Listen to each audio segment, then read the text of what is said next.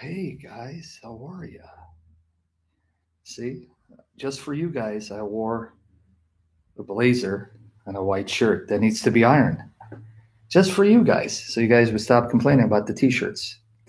I need to get, I gotta buy some casual wear, right? Because I don't have any, but oh my, hey, that's okay. Well, the ones I have are kind of old and outdated, but hey, it's life. Life will never be the same. How you guys doing?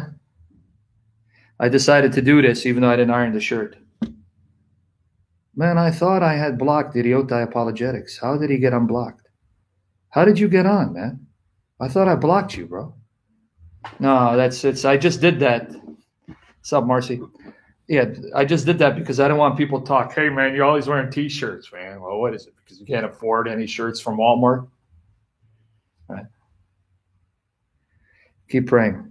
I thought I did, idiote. I know I blocked you from Facebook, but that's okay. We'll work on that. All right, good to see you guys. We'll just wait for the regulars to show up. As you can see, it's a little earlier. I don't know.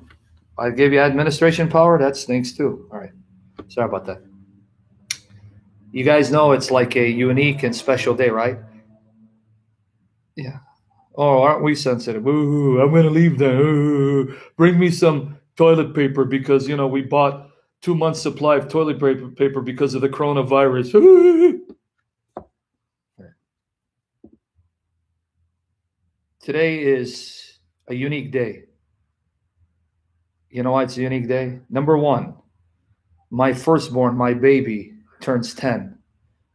The two greatest gifts that Jesus gave me on earth after revealing himself to me and granting me salvation. Today is my firstborn's 10th birthday. I've been a father for 10 years, and I praise Jesus Christ for my Saraya and my baby girl, her sister, Zipporah, whom I named after Moses' wife.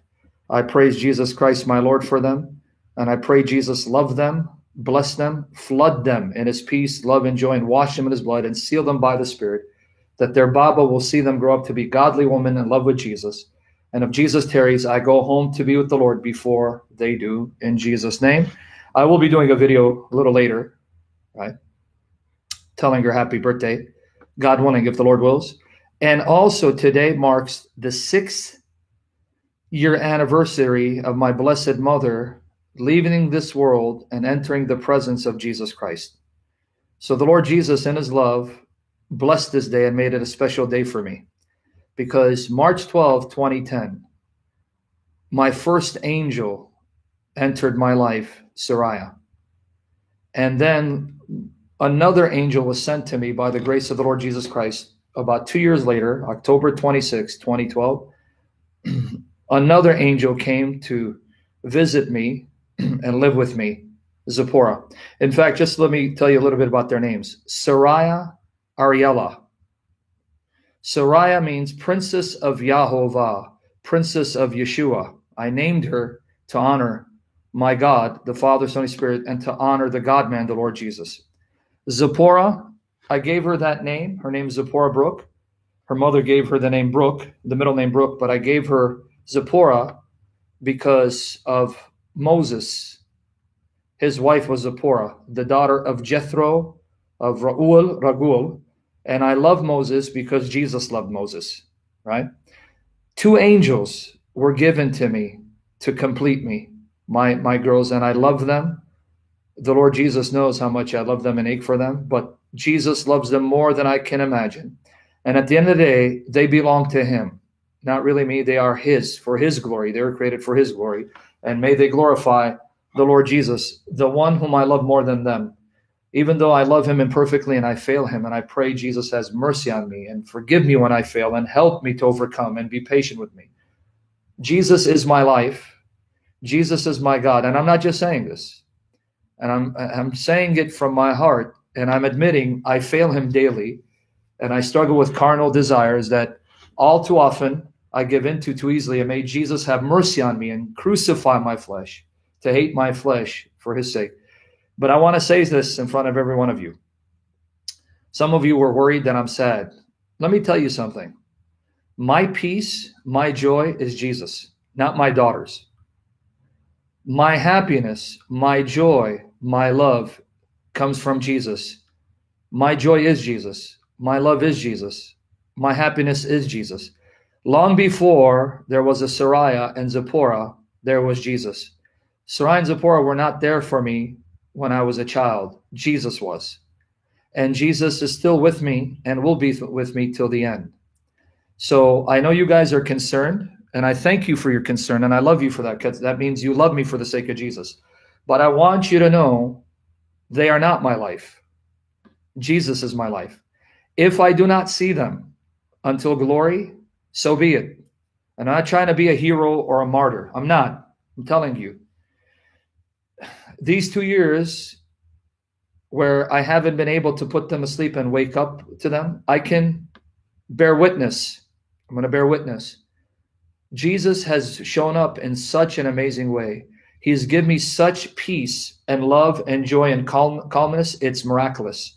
Even on this day, I woke up at peace. I woke up calm. I woke up full of joy because that's my Jesus. That's my Lord showing me that He is my peace. He is my joy. And as much as I love my daughters and miss them and ache, ache for them, and in a sense, empty without them, they do not fill me. Jesus does. So I just want you to remember that. My concern is they won't be damaged irreparably because of the decisions of their mother to walk contrary to the will of Christ and because of her immorality. That's my fear. I don't want them to be irreparably damaged. Right? So pray for them and love them for the sake of Jesus. Second thing I want to mention why Jesus is so amazing. Among other things, he is amazing because he's God. But things he does to show us how real he is, how close he is, close he is to us, and how much he loves us. My daughter was born March 10, 2012. I'm sorry, March 10, 2010. My baby, my baby angel was born October 26, 2012. Okay. On March 12.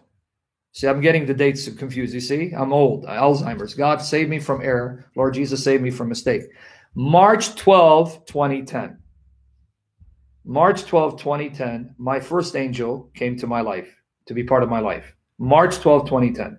My baby angel, the second one, October 26, 2012.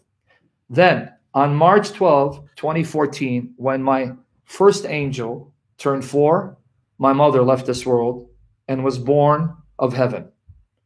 You understand what the Lord Jesus did, right? My beloved mother, and I was the baby of the family. I'm the youngest of six. I was her baby. I was her baby, like Zipporah Zippy is my baby.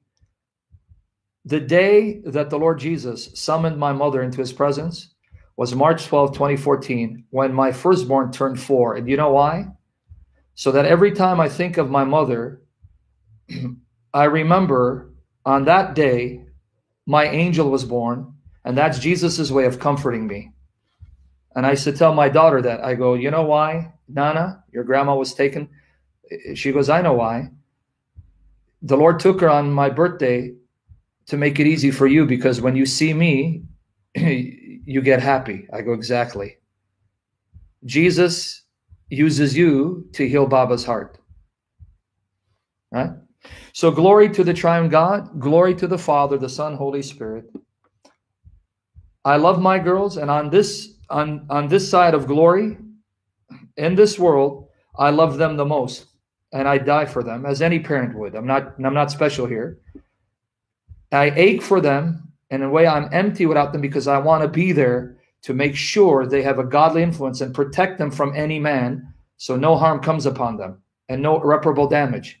But Jesus loves them more. And at the end of the day, whether I see them now or I don't see them, they are not my peace, my joy, my love, my life, my anchor. Jesus is. And I just want to remind every one of you Jesus is.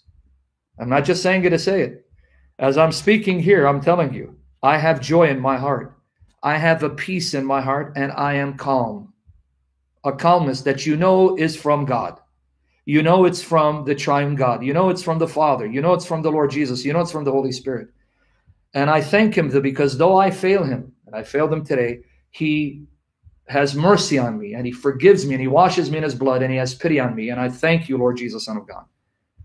In fact, to celebrate my daughter's birthday and to commemorate the memory of my mother, who entered the presence of Jesus six years ago on this date, I'm going to do a double header.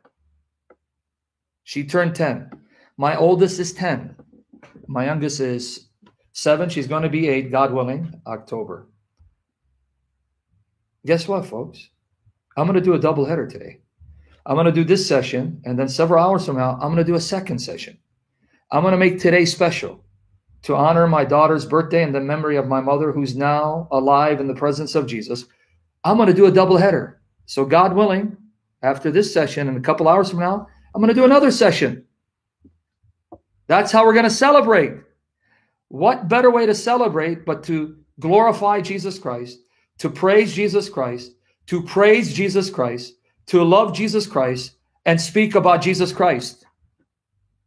Right? Anything? Is there anything better than that? Come on now. I said that tomorrow I was going to do a session proving the Holy Spirit is a person. Guess what? I'm going to do it today. It will be a double header. The second will be on the biblical evidence proving the Holy Spirit is a person who is God, one with the Father and the Son. How about that, folks? You excited? And I'm doing it because I want to serve you and be used of the Spirit so that all of us together glorify Jesus Christ. You excited?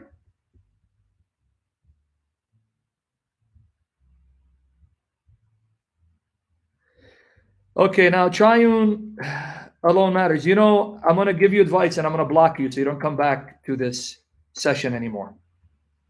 You just bore false witness and you lied about me. See, again, the distractions of the devil start you said because I don't believe in the filioque, you feel sorry for me. So do you feel sorry for a large segment of Christianity, the Orthodox Church, the Nestorian Church, even the Coptic Church that don't accept the filioque? And do you also feel sorry for the original ratifiers of the Nicene Creed that did not include the filioque in it? You see now why he's feeling sorry? You would think that the filioque would be crucial to one's salvation. So if you affirm it or you deny it, it can affect your salvation. You see the silly things that Christians argue about? Did you guys hear what he just said? I feel sorry that you don't accept the filioque. If you go back, we were talking about the procession of the Holy Spirit. And I'll go back to those series. Does the Holy Spirit proceed from the Father through the Son or the Father alone?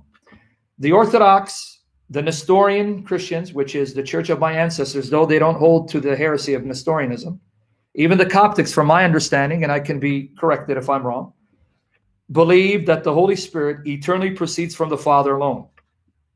The Western Church, for the most part, believes that he proceeds from the Father and the Son. And that phrase, and the Son, is filioque. So he's telling me he feels sorry for me because I don't affirm that the Spirit proceeds from the Father and the Son, and the Son part. So he feels sorry for me because somehow that makes me less spiritual than him and maybe even puts my salvation into jeopardy. Right? Hey, wasn't there a song about Jeopardy? On a Jeopardy, baby. Ooh. Remember that one? Okay. But anyway, let's send our friend. This is not a channel for him because he feels sorry for me. So that means he should be listening only to those who affirm the filioque. And you got Catholic answers and other people that do. This is not for you, friend. Send them away, mods. Father, we love you. Lord Jesus, we love you. Holy Spirit, we love you. And shamefully, I say, we love you imperfectly. I do. First, I ask, Father, that you forgive us for our shortcomings, our failures, our moral imperfections. Father, have mercy on us for the sake of Jesus Christ. Wash us in the blood of Jesus Christ, your Son. Fill us with power and life from your Holy Spirit to overcome the flesh, to crucify the flesh, to mortify the flesh, and walk in the life and the power from your Holy Spirit, Father. Please help me in this area. No matter what, Father, please never turn your back on us. We plead the blood of Jesus to cover us. Give us grace and power to overcome, to become more like Jesus more obedient, more worshipful, more prayerful, obeying you more perfectly, conforming to the image of the Lord Jesus, being like Jesus in the way we love and the way we live and the way we worship. When Jesus was on earth, setting the, the example of how to worship you, Father, in the power and life of the Holy Spirit, and to serve like Jesus by our deeds, not just our lip service. Help me to be a doer of your word. Help every one of us to be doers of your word, Father. And bless this session, especially on this day when we celebrate the birthday of my first angel, Soraya, a gift from you, Father, from your heart to me. And then you sent me another gift, her sister Zipporah. Bless these two gifts. Seal them by your spirit. Flood them in your love. Cover them by the blood of the Lamb, the Lord Jesus. And bless this session also as we commemorate the homegoing of my mother, who's now in the presence of the Lord Jesus. Though her physical body returned to the dust, her spirit, her, her soul is alive fully alert, free of sin and pain, beholding the physical face and the physical body and the beauty of Jesus Christ, worshiping you in the presence of those who've gone before us with the company of the angels. And I pray in Jesus' name, by the blood of Jesus, by the cross of Jesus, by the power of the Spirit, we will join them until Jesus returns to the earth. Strengthen my, my throat, fill my lungs and chest with the breath of life Anoint me to speak truth without error, to make no mistakes, no errors of fact, and exegete scriptures correctly, and bless everyone with wisdom and knowledge and insight, understanding from your Holy Spirit to understand these issues, Father. And bring more people to this channel for your glory, to learn, to benefit, and be blessed, to fall more passion in love with you, Father, more passion in love with Jesus, more passion in love with your Holy Spirit, and have mercy on us, Father. And help us to forgive those who've opposed us, attacked us, slandered us, who hate us, either because we love the Lord Jesus or because of our shortcomings and we've offended them. Forgive them, Father, and forgive us and help us to forgive them. Have mercy on my ex wife. Convict her, be a fire in her heart to fall before the feet of Jesus and return to Jesus Christ, her only hope of salvation. We thank you, Father. We thank you, Lord Jesus. We thank you, Holy Spirit. Help us. Help me to bless your people in Jesus' name. All right, Lord, bring them, Lord. We pray. We get we had close to 200. Hopefully, it keeps going that way. Okay, are we ready? I, should, I was supposed to put part two, man. I forgot. It is vitally important that you listened to yesterday's session because I can't cover in depth and detail all the things already discussed. That was the foundation that I laid by the grace of God. So I want to be building on that foundation in Jesus' name, trusting the Spirit to prevent me from error, illuminating me, enlightening me to speak truth clearly, and helping you absorb all this information for the glory of Jesus Christ. Thank you for your support. God bless you guys, right? Yep, it is a continuation of yesterday, Max. It's supposed to be part two. I'm probably going to lose you in the way. So if you haven't listened to the first session, please don't ask me to clarify that's why I did a first session. I'm going to build on the foundation already laid. Make sure your questions are relevant to the topic and no side issues, no side uh, talk, so that you don't distract others. It's because this is meat and we want to dig into the meat and absorb it by the power of the Holy Spirit for the glory of Jesus Christ, right? Now that said, you guys understood the difference between monotheism as defined by Christians today and henotheism, right? right? You understood. I already explained those terms, went in depth on it yesterday. I want to continue from where I left off because if you remembered, I said that according to liberal critical scholarship, the kind of scholarship that does not believe the Bible is the inspired, inerrant Word of God, believe that the Bible is a collection of books that contain errors and myths, you know, anachronisms, historical mistakes. This kind of scholarship believes that if you look at the oldest materials in the Bible, which is also circular, begging the question because they're the ones who assign the dates to these documents, and then they're the ones who determine which document is old, which document is recent. So it's all circular reasoning. It's begging the question. It's not based on historical, textual, archaeological facts. It's based on assumption, right? So I want to repeat it's based on assumption. These claims are assumptions that are not anchored in facts of history, facts of archaeology, or the textual evidence. So I just want to repeat this is the position held by liberals. Not all of them, many of them, but it's a position that's not based on historical, textual, archaeological facts. Is that clear? Because I want to repeat that. I want it to sound like a broken record. Is that clear? Understand? What I'm telling you is what liberal scholarship teaches. Pray I lose. I got to lose 50 more pounds and keep it off in Jesus' name.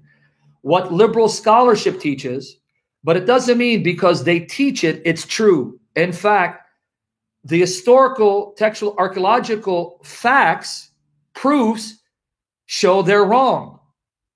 That these assumptions are wrong, if not outright lies. Is that clear? I just want to make sure that you don't think I'm endorsing these views or I believe these views or I subscribe to these views.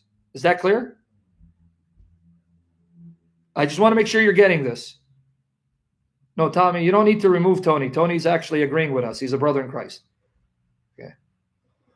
So, with that said, the liberal assumption goes like this just like you have evolution in in science, you have evolution in religion.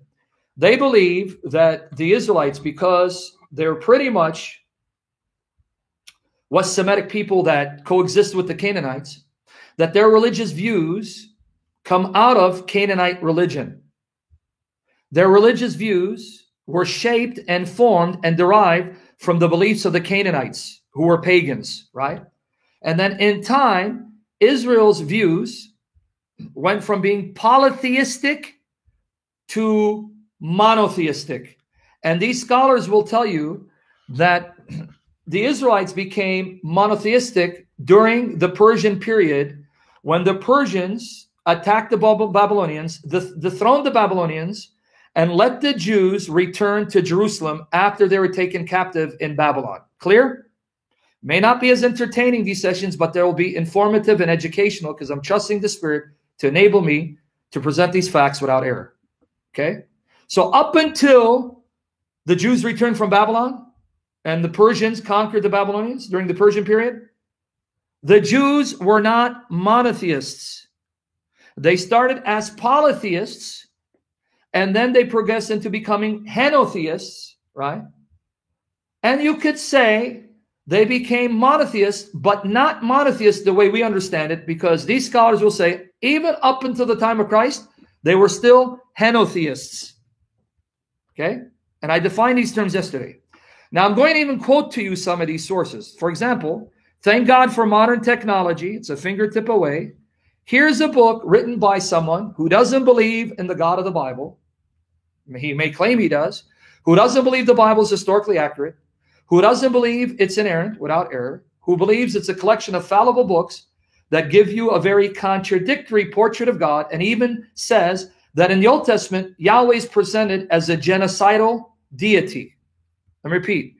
He believes that the Old Testament depicts Yahweh as a genocidal deity, a God of genocide. Okay.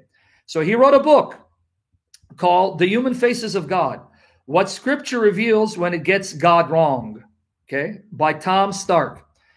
Now, remember, I said yesterday that according to liberal scholars, the oldest material in the Old Testament would include Deuteronomy 32. These scholars believe Deuteronomy 32, um, yeah, Deuteronomy 32, Exodus 15, that psalm, right? Judges 5, and even perhaps Psalm 82, those are the oldest sources in the Hebrew Bible. And if you examine them carefully, they'll tell you, you'll find traces of what the Israelites originally believed. You'll find things said in these sources, especially Deuteronomy 32, that escape the pen of the scribes, that gives us a window into what the Israelites originally believed. So, everyone with me here? Am I confusing you guys? Do you want to make sure you're getting this before I move on to the next point? So, here's the link to his book. I don't recommend you waste money on the book. If you can get in the library, do so. And I can't. Uh, anyway, it's too long, the link. Sorry, guys, I can't get I, I was going to send you the link, but it's too long, too long. Anyway, you can find it. You do The Human Faces of God, Thom Stark. Okay. Here's what he says about Deuteronomy 32, verses 8 to 9. You got to go back and listen to this session to understand what I'm saying now because I'm building on it. Now, notice what he says about Deuteronomy 32, verses 8 to 9. Here, let me read it to you. Okay. Citing the Dead Sea Scrolls in regards to Deuteronomy 32, verses 8 to 9, because remember, the Dead Sea Scrolls are the oldest existing copies of the Hebrew Bible to, to date. We found copies of virtually every book of the Bible, with the exception of Esther, right? But who knows? Maybe future discoveries will find Esther as well. And these books of the Bible, written in Hebrew, were written anywhere from 200 to 100 years before the Lord Jesus Christ. So these are the oldest copies of the books of the Old Testament in existence. We may find older ones in the future. So this is what he says about that phrase. I want to read it so you can hear it from the horse's mouth what these people believe and what they're teaching. Okay, but let me see one second before I go there. Does yeah? Uh, let me go to the relevant parts. I'm going to read it. I'm not going to read it in chronological fashion. It's going to be haphazard because I just want to read the salient points. Let me go there and find what he says about Deuteronomy 32. It's it's dating because he mentions it here. Yep. All righty then. Let me find it. Lord, help me. I had it right up and then here. Malachim. All right. Let's see if I can find it. You see? Now, when you want to find it, you can't. Sorry, guys. This is what happens in life. I had it right in front of me. Oh, brother, from a different mother like no other. Okay, let me see. Let me find it for you. Send him back to Asheron. I sorry about that. Just bear with me because I want you to see what he says about Deuteronomy 32 and how some scholars view Deuteronomy 32 as one of the oldest, if not the oldest, material in the Old Testament. Why can't I find it now? It's unbelievable. I hate this. All right, I may have to can it and come back. Yep, because we'll see, Lord Jesus rebuked distractions and Satan. Unbelievable. When I want to find it, here it goes. Oh, right here. Sorry, it's on page 70. The Song of Moses in Deuteronomy 32. Pay attention. The Song of Moses in Deuteronomy 32, alongside the Song of Miriam in Exodus 15, is considered by scholars to be some of the oldest material in the Hebrew Bible, dating back roughly to the mid 13th century BCE, before Christian era. Guys, remember to ask me about that date. Scholars believe that Deuteronomy 32, along with Exodus 15, and they even say that about Judges 5, possibly Psalm 82. Deuteronomy 32 is considered by scholars to be some of the oldest material in the Hebrew Bible, dating back, remind me to explain the importance of this statement, dating back roughly to the mid 13th century before Christian era, BCE. BCE means before Common Era, but they're trying to rob Jesus of his glory and erase his name from even the date, the dating of our calendar, right? And I'll comment that in a minute. So before Christian era, mid 13th century before Christian era, meaning 1200 years before the birth of Christ.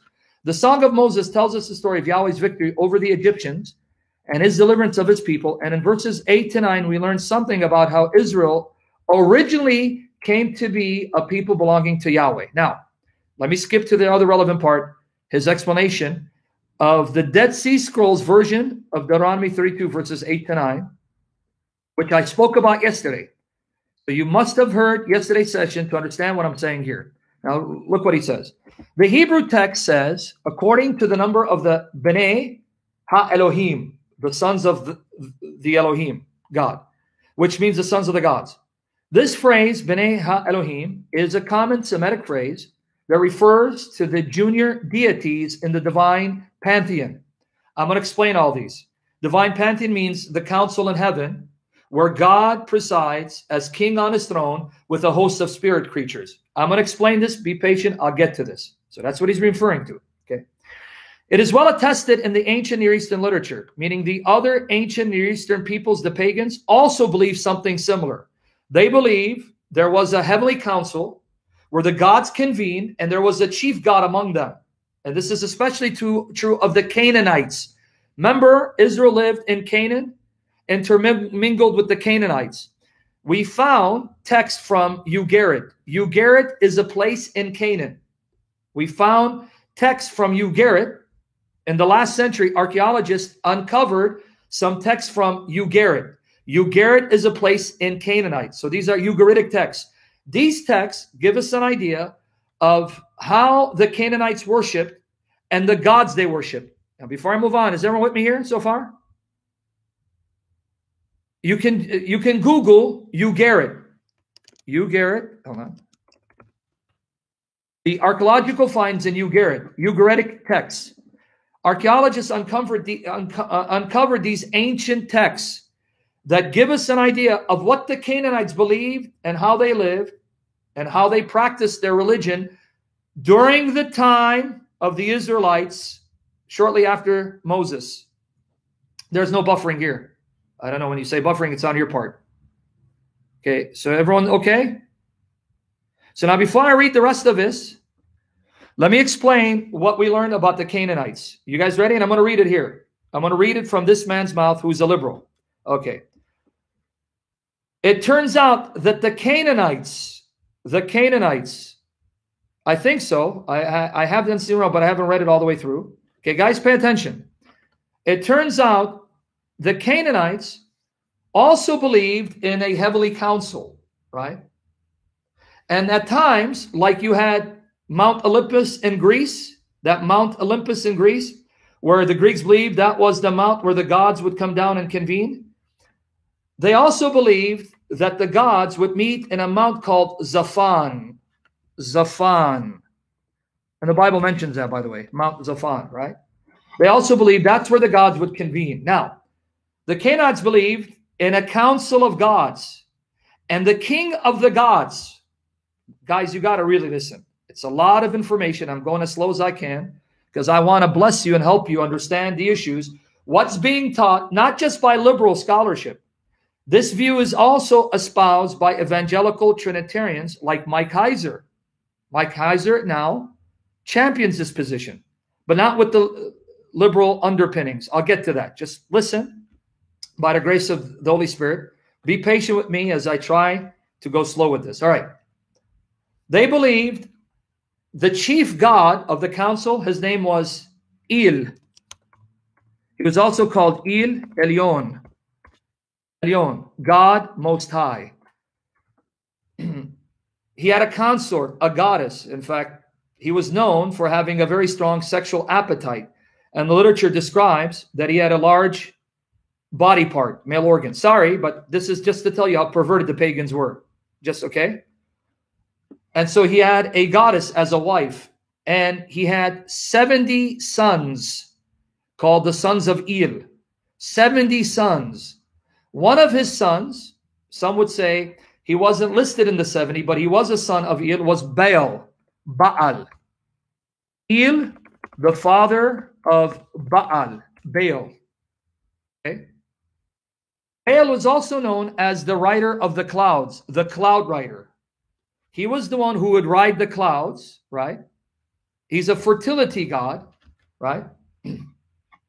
so understand what they believed, following with me what the Canaanites, who are the Canaanites? The Canaanites are the people that Israel dispossessed and intermingled with. Notice what they believe. The chief god, his name is El. He's also the Most High. He's the father of the gods, 70 sons of El, right? And one of his sons is named Baal, Baal, who rode the clouds, and El had a goddess as a consort and a wife, and he would have sex. Yep, fertility rites involving words, right? You got you see? This is what they believed, right? This is what the Canaanites believed. And these discoveries from Ugarit confirm that's what they believed. Okay, if you're with me so far, this is where the liberal scholars say because the Israelites were a West Semitic group, perhaps they were even Canaanites. Some would even postulate that, not all. They were influenced by this religion. And when they broke away, they still took bits and pieces of that religion, but then they changed it, modified it. Let me give you a similar example. Let me give you a similar example. Muhammad, what did Muhammad do? Muhammad took the paganism of the pagan Arabs that he was reared from, you know, that re reared among them, He took pagan elements, pagan beliefs and superstitions, and married those beliefs with Judeo Christianity, and he created Islam. So these liberals say that's what Israel did. That's what Israel did. Are you with me there? You understand? They say Israel did the same thing. They were pretty much steeped in the Canaanite religion. And then in time, they changed, they adapted, right? Embellished that religion and omitted omitted things from that religion that they didn't agree with, similar to what Muhammad did. I don't know. Ask uh, Matt Stevens, ask your mother, because I know you're upset that you don't know who your father is till this day. That's your mother's fault, not our fault. But anyway, are you with me there? You understand what they're saying? And so, what's the proof? You ask them, what's the proof that the Israelites, like the Canaanites, believed that El was the chief God and that there was a council of gods who were the sons of El? And what's the proof that at one time the Israelites thought that Yahweh was one of the sons of El? Because that's what the liberals are saying. That the Israelites originally started out thinking Yahweh wasn't the supreme God. He was the son of El, one of his sons. But later on, Yahweh becomes El, El becomes Yahweh. They become one and the same deity. But originally, they didn't believe that. What's the proof? Their proof is their reading of Deuteronomy 32, verses 8 to 9. So now with that said, let me continue. With that as a background, here's what this gentleman says. The New Revised Standard Version takes some interpretive license and translates the phrase according to the number of gods. Now pay attention. As it happens, this interpretation is fairly accurate. As already noted, throughout the ancient Near Eastern literature, the Semitic phrase among the Semitic people, Bene Ha-Elohim, occurs frequently, always meaning the same thing. Junior deities, lesser gods. I'm saying lesser gods. He's saying junior deities of the divine pantheon. The notion of a divine pantheon with a chief deity, deity at the top, a consort, wife deity, and their progeny, their offspring that they sired, all comprising the council of the gods, was widespread throughout the ancient Near East, not least in the Canaanite mythologies. That's what the Canaanites believe. In the literature, this council convenes, these gods gather together to talk politics, as it were, to determine the order of things. So far, so good. I got two more paragraphs. God willing, I want to read. So far, so good. You understand what I'm saying? All right, let's move on. Interestingly, in the Canaanite literature, one deity is typically considered to be the head of the pantheon. This deity's name is El El, E-L, Elyon. El Elyon. El Elyon is the God served by the priest king Melchizedek in Genesis 14, God Most High. Melchizedek blesses Abraham in the name of God Most High, El Elyon. El or El is the generic term for God, but El Elyon, El Elyon, God Most High, is the king over all gods in the region of Canaan. Upon Elyon's mountain is where these political councils of the gods are said to convene. So now he reads Deuteronomy 32, verses 8 to 9 from the Dead Sea Scrolls version. Now notice what he's going to say. In this early piece of Israelite poetry, remember that Israel is in Canaan. We have a picture of one of these councils of the gods. These verses reflect an etiological, meaning means giving you the root and the origin of the people groups, where they got their name, how they inherited that land, and their beliefs, etiological narrative explaining the division of nations. In it, Elyon, the mountain god, head of the divine pantheon, divides humankind according to the number of his children, the junior members of the pantheon, so that each get a people group as an inheritance. Yahweh, one of Elyon's sons, is given Israel as his inheritance. And here's the key. Here's the key. Thus, Yahweh becomes Israel's patron deity that is what is envisioned here in the oldest extant Hebrew text of Deuteronomy 32. The oldest copy that we have of Deuteronomy shows that Yahweh is one of the sons of El, of the Most High. He is not the Most High. And Deuteronomy 32 is one of the oldest materials that we have in the Hebrew Bible, possibly written around the 13th century BC before Christ. Everyone got it now? Understand what these scholars are teaching? Okay, now here's his note. This is from pages 70 to 73. 70 73. Let me read the note here. Okay. Six. Some scholars argue that Elyon and Yahweh are the same God here, but the most straightforward reading of the text does not permit this. First, it is said that Yahweh is given an inheritance. A father does not give an inheritance to himself, but to his child. Second, the text says that Elyon divided up humankind according to the number of his children, not according to the number of his children plus himself. Thus, Yahweh is portrayed here as the son of Elyon. No, Max, it's not accurate dating. Okay. So, what I told you yesterday, there is an evolution in religion. You see how ev evolution has spread like gangrene and cancer in science? Evolutionary theory isn't just for science. Evolutionary theory is being adopted in all fields of learning, even in religion. So just like we evolve, so did the religious beliefs of people evolve, including the Israelites. In other words, according to this view, Israel never in her history believed in one God.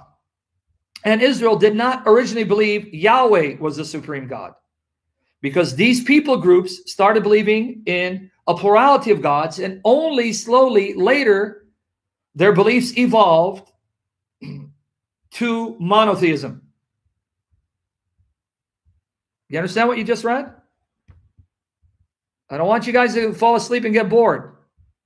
Here's another one. This is another one from the patheos.com. It's called Cross Examine, another liberal, another liberal who writes about the Bible. Here's the link. What does he say about Deuteronomy 32 and Psalm 82, which is what we're going to talk about today? We're going to talk about Psalm 82 today, okay? But here's what he says about Deuteronomy 32, verses 8 to 9. Notice again, just like Thom Stark, notice two independent writers saying the same thing. Why? Because they're drinking from the same pool of liberalism. What's the link between them? They have imbibed liberal poison, liberal theology, and taken for granted that liberal assumptions are based on fact. Right? So notice what he says. The Song of Moses, Deuteronomy 32, is considered to be some of the oldest material in the Bible, dating to the mid 13th century BCE. Just sounds just like what we just read from Thom Stark. We have several somewhat inconsistent copies, the oldest being from the Dead Sea Scrolls. So he quotes it. Now notice what he says. Here we see Elyon, the head of the divine pantheon, dividing humankind among his children, giving each his inheritance. The idea of a divine pantheon with the chief deity, his consort, man, it sounds like I'm reading Thom Stark. It's like they're all reading the same script. His consort, meaning his, his wife, his female goddess that he has sex with, and their children, the council of the gods, was widespread through the ancient Near East. Elion, short for El Elyon or Elion, is the chief god, not just in Jewish writings, but in Canaanite literature. This passage concludes with Yahweh getting Israel as his inheritance. We learn more about terms like sons of God by winding our focus to consider Ugaritic Canaanite texts. Ugarit, Ugarit was a Canaanite city destroyed along with much of the ancient Near East during the Bronze Age collapse in roughly 1200 years before Christ, BCE, before Christian era a period of widespread chaos from which Israelite civilization seemed to have grown. Now, watch what he says here, and we're done. The Ugaritic texts, the text that they discovered, state that Il and his consort Asherah, remember this name, Asherah, had 70 sons, which may be the origin of the 70 nations or 72 that came from Noah's descendants listed in Genesis 10. There you go, folks. That's liberal scholarship for you. Did you catch it? That's what liberal scholarship is teaching people who are going to colleges, universities, and even seminaries. Did you catch it? And you know why that name Asherah should be important for you guys? Because all throughout the Hebrew Bible, the Israelites keep worshiping the goddess Asherah and Astarte, Ishtar. So these goddesses show up in the Hebrew Bible by way of condemnation. Because the Israelites were worshiping the goddesses of the pagans. So these very gods and goddesses are mentioned in the Hebrew Bible as snares for the Israelites because Israelites kept being seduced into worshiping them. And archaeology confirms that these are the names of the gods and goddesses worshipped by the people at that time. So this actually provides archaeological confirmation for the accuracy of the Old Testament because it gets the names of the gods and goddesses of the people right. You with me there? Is, is this sinking in? And Abdul Halij, my brother, is here to confirm. So you see why these scholars believe, why these scholars believe that Jehovah originally was a son of El, the Most High, and then later on he became identified with El, the Most High, because of Deuteronomy 32, verses 8 to 9. Now, you do have scholars trying to refute them. For example, Michael Heiser has written papers refuting that. Michael Heiser, Michael Heiser has a paper that I actually read.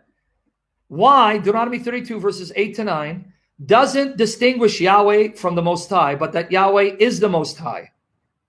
So, though Yahweh, the Most High, divided the nations among the sons of God, he kept for himself Israel. It wasn't that someone allotted him an inheritance, he chose Israel to be his inheritance.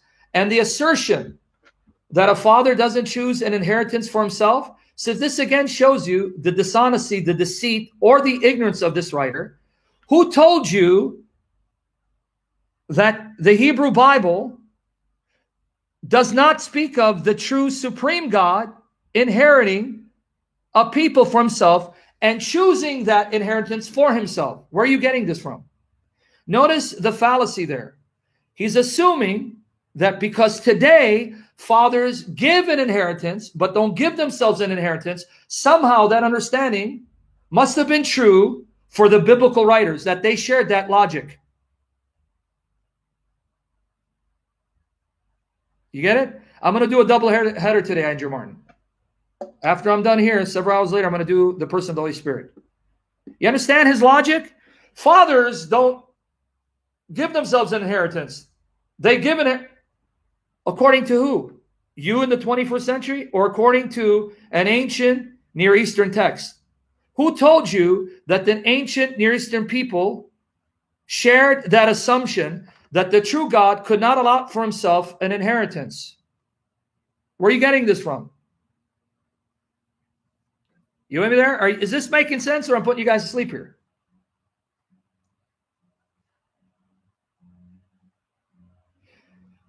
For example, let me show you what the Bible says about God inheriting, the true God inheriting, which now brings me to the second passage, Psalm 82, verse 8. Let's look at it. Now I'm going to deal with the second passage that liberals point to to demonstrate that Yahweh wasn't the chief God, he was the son of the chief God. And the second passage that henotheists, who are Trinitarians, point to to show, although there's one true God, that one true God created a host of lesser gods. So let's read Psalm 82, verse 8. Arise, O God, judge the earth, for thou shalt inherit all nations. There you go, my friend. The true God inherits the nations. So the logic that the true God can't apportion an inheritance for himself, that's not biblical logic. But now this brings up the second example the second passage that both liberals and Trinitarian henotheists point to to demonstrate there isn't just one God. Okay, now are you with me? Because now we're going to go to the second example.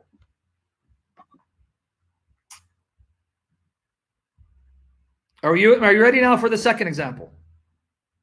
Okay. The second example that the liberals point to to try to demonstrate Jehovah is not the chief God, he's the son of the chief God early in Israelite religion. Let me repeat what the liberals are saying about Israelite religion. They say that early on the Israelites believed that Jehovah was one of the sons of the chief God. That's their belief initially. Later on, they started identifying Yahweh, Jehovah, with the chief God, so that the first stage, Jehovah is the son of the Most High, son of El. Second stage, Jehovah is El, Jehovah is the Most High. This is what the liberals are saying. That's their belief. Coming now to Trinitarians or henotheists like Mike Heiser. Are you ready? Now, let me tell you what Michael Heiser and those scholars and apologists who believe like him are saying. They do not believe that Yahweh was the Son of the Most High and only later on became identified as the Most High. They don't believe that. You with me there? Focus. They'll tell you Yahweh has always been the eternal, true God. He is the Most High. But they believe that Yahweh, the true Most High, God Most High, created a council of lesser gods, spirit creatures who are gods, but not in the same sense that Jehovah is, that Yahweh is. That's what Mike Heiser and other scholars like him believe. You understand the difference between the liberal position and Trinitarian henotheistic beliefs? A Trinitarian like Mike Heiser and those who follow his thinking do not believe that Israel initially thought Yahweh was different from the Most High El, and then only later on thought thought they were one and the same. They don't believe that. They'll tell you from the beginning, Israel, by revelation of God, always knew Yahweh is the eternal, uncreated, supreme, almighty, all-knowing, ever-present God, the creator and sustainer of all creation and he then created a host of spirit creatures to be lesser gods that make up his heavenly council. That's what Heiser and company believe. Okay? So their beliefs are not identical. They are similar, but not identical. How are they similar? Both the liberal camp and this camp of Trinitarian henotheists argue there is a heavenly council and in this heavenly council, you have the supreme God presiding. That's Jehovah for the Trinitarians. For the liberals, it used to be the Most High, who's the father of Jehovah, and later became Jehovah. That's the liberal belief. And in this council, there are spirit creatures who are gods, but they are junior gods, junior deities, as Thom Stark called them, lesser gods that the true God created, the true God sustains, who derive their life, their power from the true God, who are no match for the true God, and the true God can wipe them out of existence in a nanosecond. If you understand the differences, we can now go into the second text that they use to try to prove this belief. Happy go lucky. If you didn't listen to the first session yesterday, don't ask me questions until you do, because I covered all of this. It's not Tom Ender. He's getting it from liberal scholarship. This is what mainstream liberal, God denying, Christ rejecting scholars teach about the Bible. Who's confused? Exactly, Pedro. Pedro, you summed it up beautifully. But don't forget what the liberals will say. They'll say eventually Yahweh became the Most High in Israelite thinking because there was an evolution in their beliefs. Yeah, you are a demon like your prophet who was a demon, a son of Satan, a whore. Send Zechariah to the black stone. Okay, anybody confused? If there's someone confused, let me know. Provided you heard the first session and still are confused. First session was yesterday. Oops, sorry. Man, my computer almost died.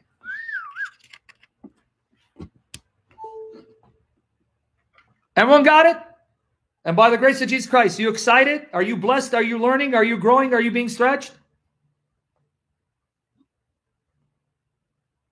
Glory to the triune God. Praise Him for all this wisdom, knowledge, understanding, and the ability to communicate it clearly for the glory of Jesus. He gets the glory. All right. Here's the other Old Testament text that they cite. Remind me to explain the 13th century BCE date for Deuteronomy 32. Do you want me to explain it now or do you want me to explain it at the end? Why do these liberal scholars, not all of them, assign the 13th century BCE date to Deuteronomy 32? Let me let me explain that. Okay, now, all right. Okay, let me explain. All right, so enough you said. Yeah, all right. Let me explain why. These scholars do not believe that the first five books of Moses were written by Moses. They don't believe Moses wrote these books, and they don't believe he wrote it 1400 years before Christ, 15th century BC. Now, there are some scholars that think that the Exodus was later, 13th century BC.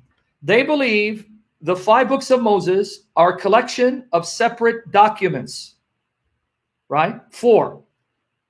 The, they, the name of the four documents are the Yahwist source, the Elo, Elohist source, the priestly code, and the Deuteronomist source. These four sources were then edited and combined together in a cohesive whole so that the, the Torah that you have today was only finalized when the Jews returned from Babylon. So it may have sources that are from 600 years before Christ, 700 years before Christ, maybe even 900 years before Christ. But these sources, separated independently, were then combined together, edited into a cohesive uh, narrative. And so the form of the Torah that you find it today was only finalized when the Jews returned from Babylon during the Persian period. Uh, you believe this? Then you're a dog. You need to get out of here. Get this dog out of here. The problem is your face. Come on, guys. Send him back to his mother. You want me there? You understand? So if the Torah you have wasn't written by Moses, but was a collection of independent sources that were collated, edited together, so that the Torah you find today was finalized in the form you have it today during the Persian period. That means the Torah can only be traced as far as 500 years before the time of Christ. Okay? That's why they'll tell you Deuteronomy 32 may have circulated separately, independently, and later on added to the Torah because Deuteronomy 32 is very old. It's older than the sources that make up the Torah because it's from the 13th century BC. Do you see the circular reasoning? Wait, wait, wait, wait. If Deuteronomy 13, 32 is from the 13th century BC, that means you've now taken at least one chapter of the Torah and pushed it way back during the time of Joshua. Or if you go with the other dating, that the Exodus took place during the reign of Ramesses, during the time of Moses. So then why are you arguing that the Torah doesn't come from Moses when you're pretty much admitting that Deuteronomy 32 comes from that period where Moses and Joshua lived during the Canaanite conquests? You see the circular reasoning? So they're admitting to you Deuteronomy 32 does come from a time that puts puts its writing within the generation that left Egypt and during the Canaanite conquest. So why not just say it all came from that period? No, we can't say that because we don't believe the Torah could have been written by Moses with editorial modifications made by Joshua because we don't believe the Exodus is historical. That's why you guys must watch the series of documentaries called Patterns of Evidence, where this man of God is presenting solid, overwhelming historical, archaeological proof that Moses, Joseph, their stories are historical, did take place, evidence that scholars who are liberal either ignore, right, and brush aside.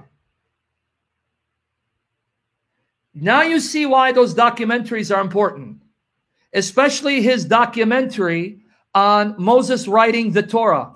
He did that documentary precisely because of these liberal theories, showing all the historical evidence, archaeological evidence that points to Moses writing the Torah, but which liberals either ignore and in their deceit and dishonesty do not mention. You know these liberals are used of the devil, whether they realize they're being used of the devil or not. Why are you hiding this other side of the story? Why aren't you commenting on these historical sources and archaeological inscriptions that at least will give us another side of the story and not just preach your story as the gospel truth and that there are no challenges or holes in your position. Patterns of evidence. Yep.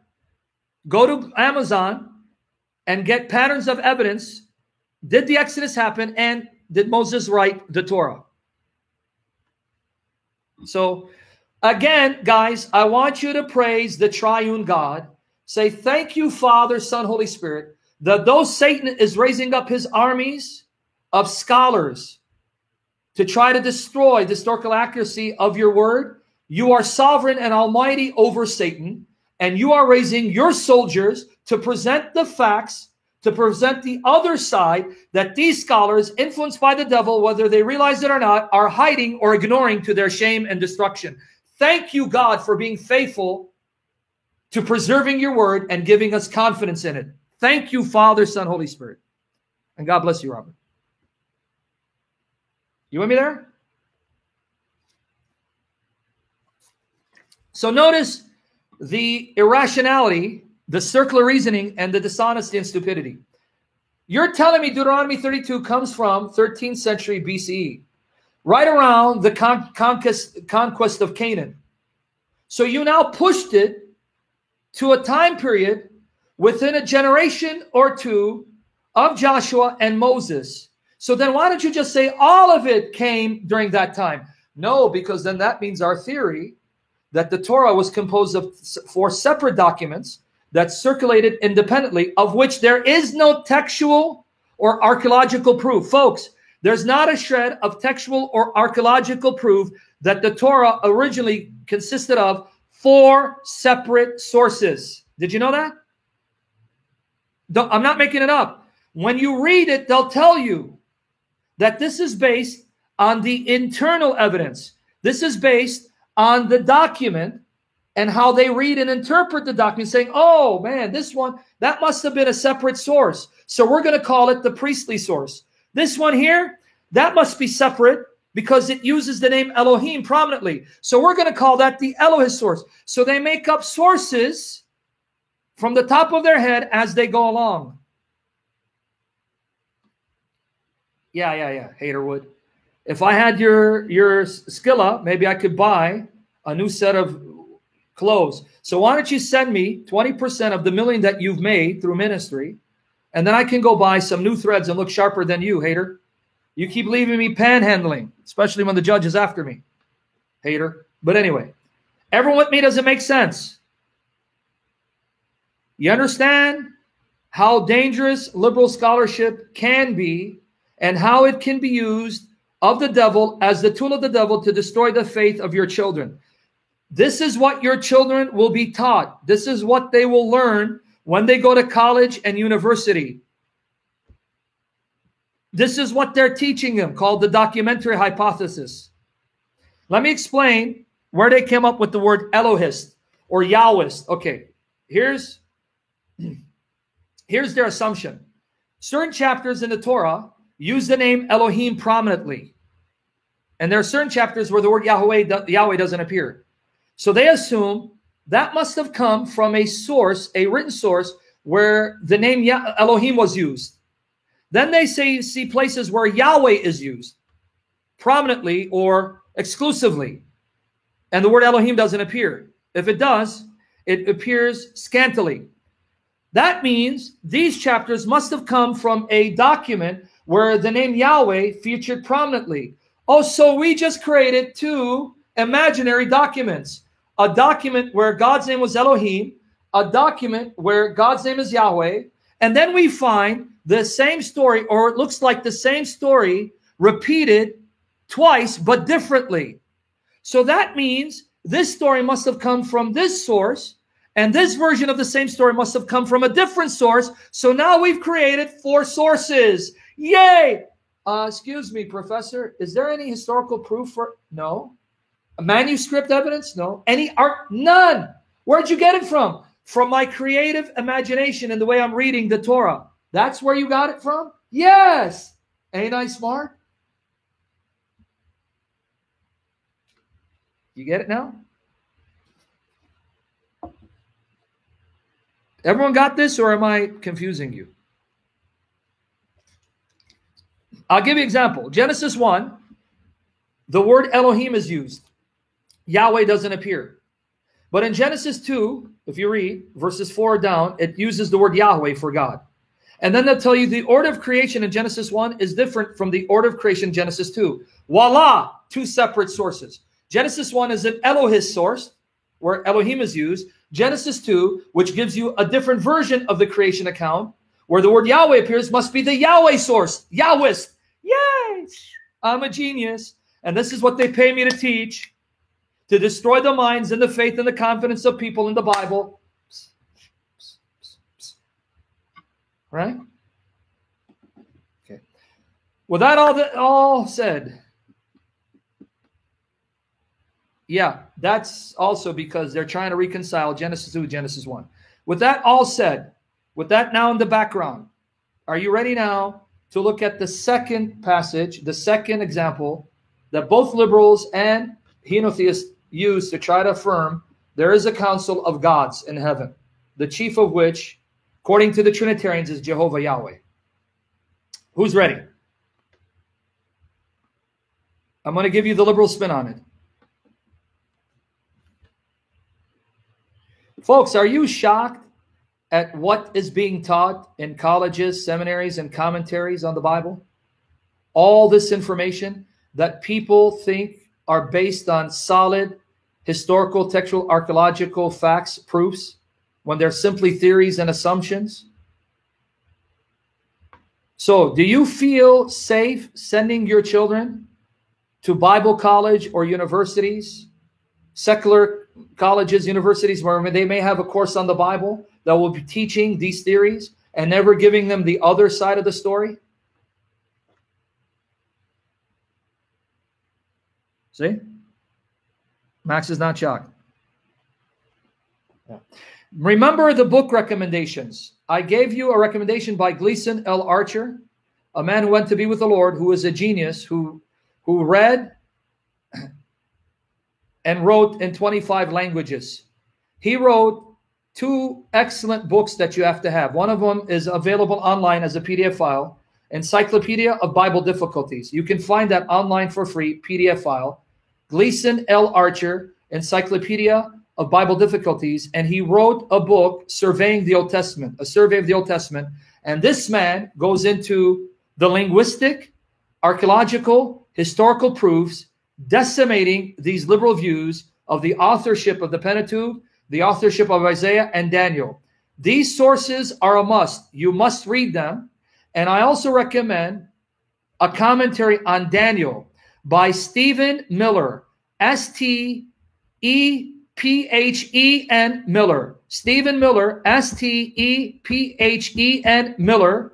His commentary on Daniel by the New American Commentary one of the best refutations of the liberal lies and distortions about the authorship of Daniel. And they are distortions, they are lies.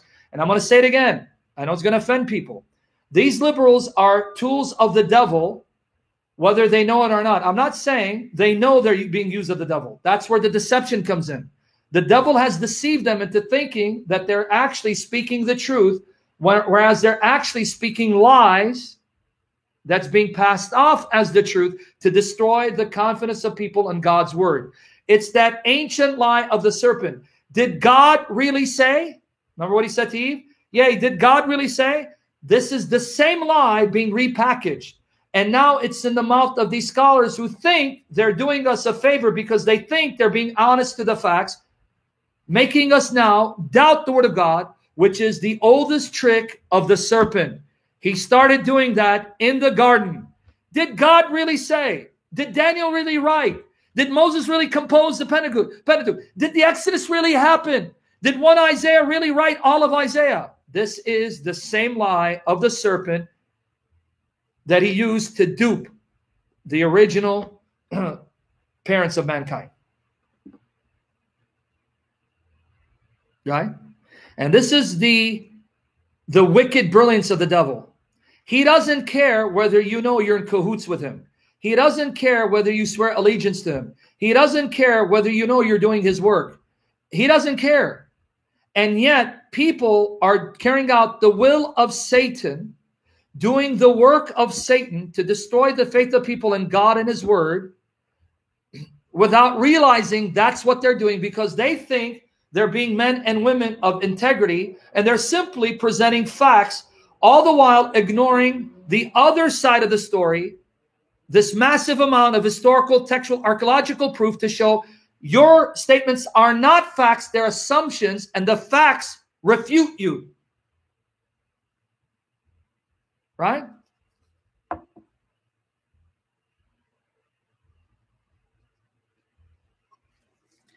With that rant, let's go to Psalm 82.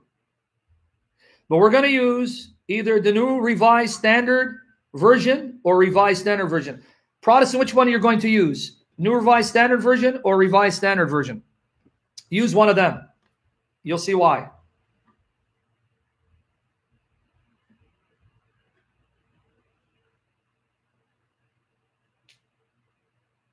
Coffee.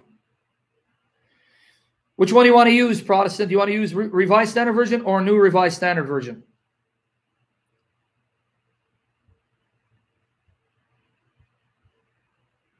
Okay, no, no, it's it's RSV. I don't know of RV.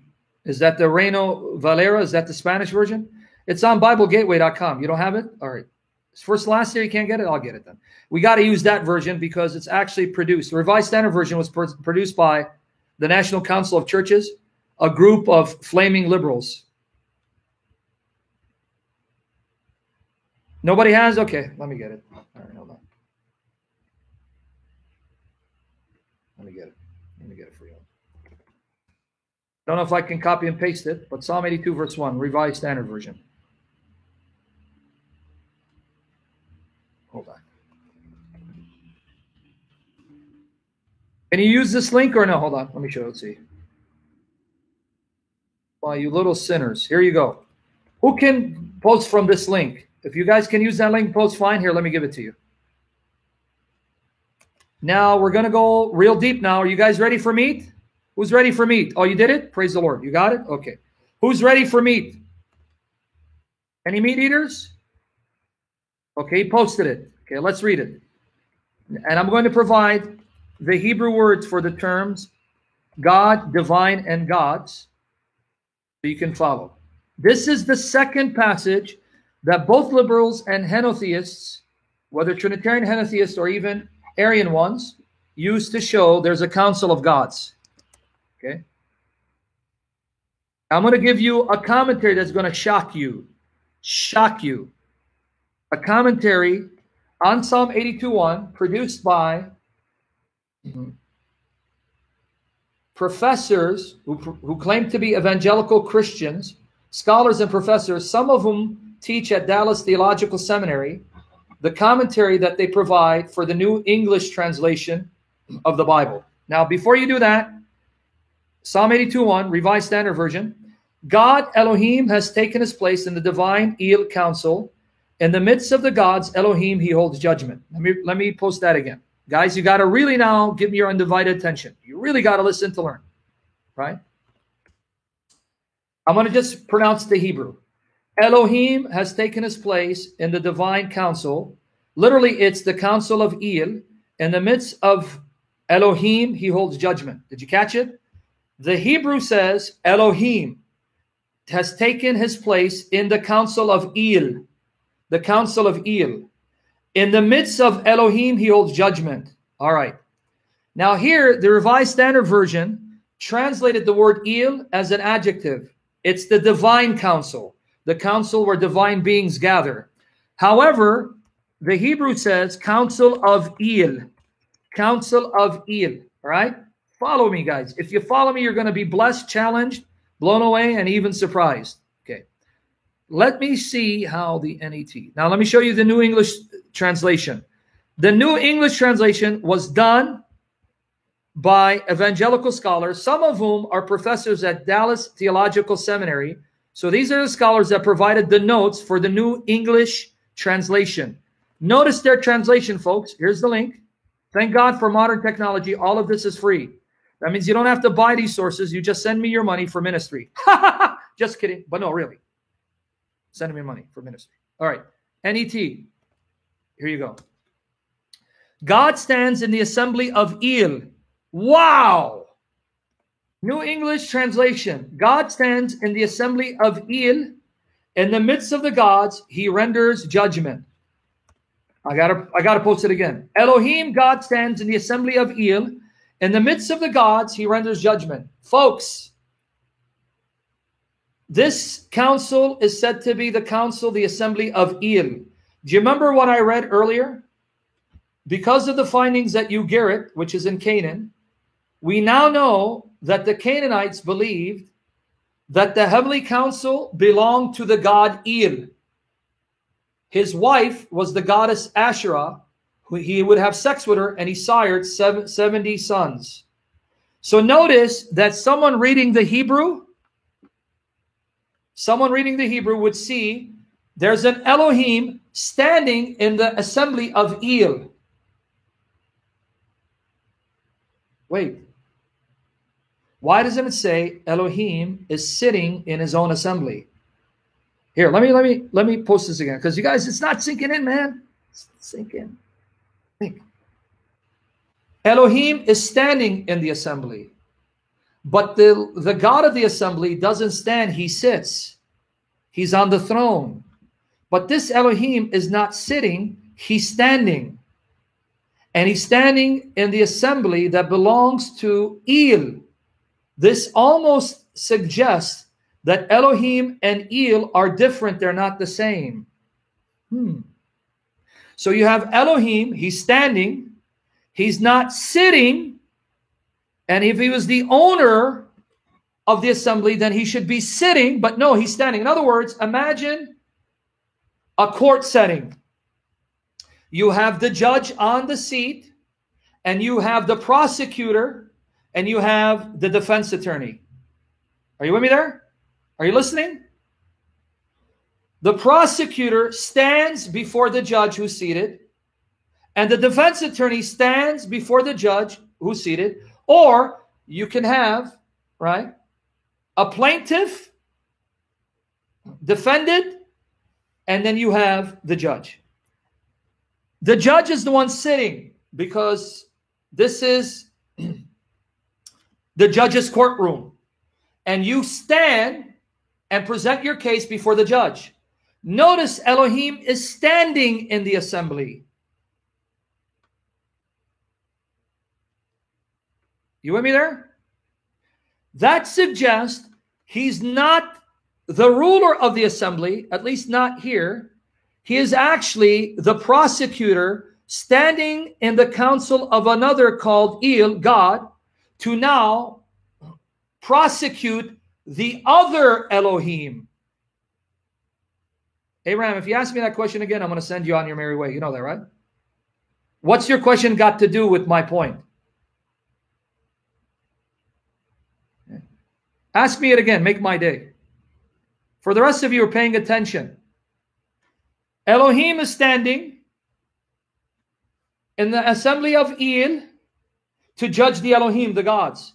So this Elohim is functioning as the prosecuting attorney, the prosecutor. He's bringing an indictment against the gods before Il, condemning them as worthy of death. That's the context of Psalm 82. Send Abraham out of here. Don't you dare come back. Send him out of here, please. Don't, don't this guy ever back here.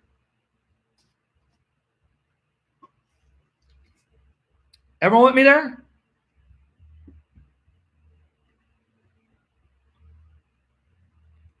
Before I move on, here it is again, NET. One more time. Here, let me post it. God Elohim stands in the assembly of Il. In the midst of the gods, he renders judgment. Okay. You have this Elohim who's standing to pass judgment on these other Elohim, condemning them to death. So this Elohim is not seated on the throne. He's standing in the assembly, making his case an indictment against another group called Elohim. You catching it? Before I move on, I hope I don't have to do a third session, but I will do one because I want you to get the meat here. I want you to get the meat, right? Do you know what the NET commentators and translators say about this passage? It's right here. Let me give you the link. They're also confused and baffled by the precise meaning of this passage, and they even pos- posit an interpretation that I'm going to quote now that's going to probably shock every one of you. Here's the link. Okay. Well, I'm going to quote. It's their note C.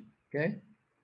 Let me see where I, I posted it. Yeah. C. Watch here. Guys, get ready to be shocked. These are Trinitarian evangelicals. They're also baffled by the implication of this passage. Go there. You're going to see C. I can't quote it all at once.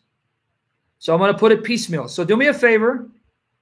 Try to read before you comment. Let me blow you away. Thank you, Marcy. Oops, it's 300. Man, darn it. I can't even post that.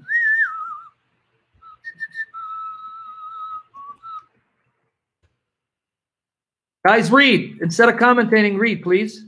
Okay. I'm going to post it. I want you to read. It's there. Be shocked what they're going to say. They're giving you different possible meanings of the text. Okay. Possible meanings of the text. All right. Notice one of the meanings that they offer and get blown away.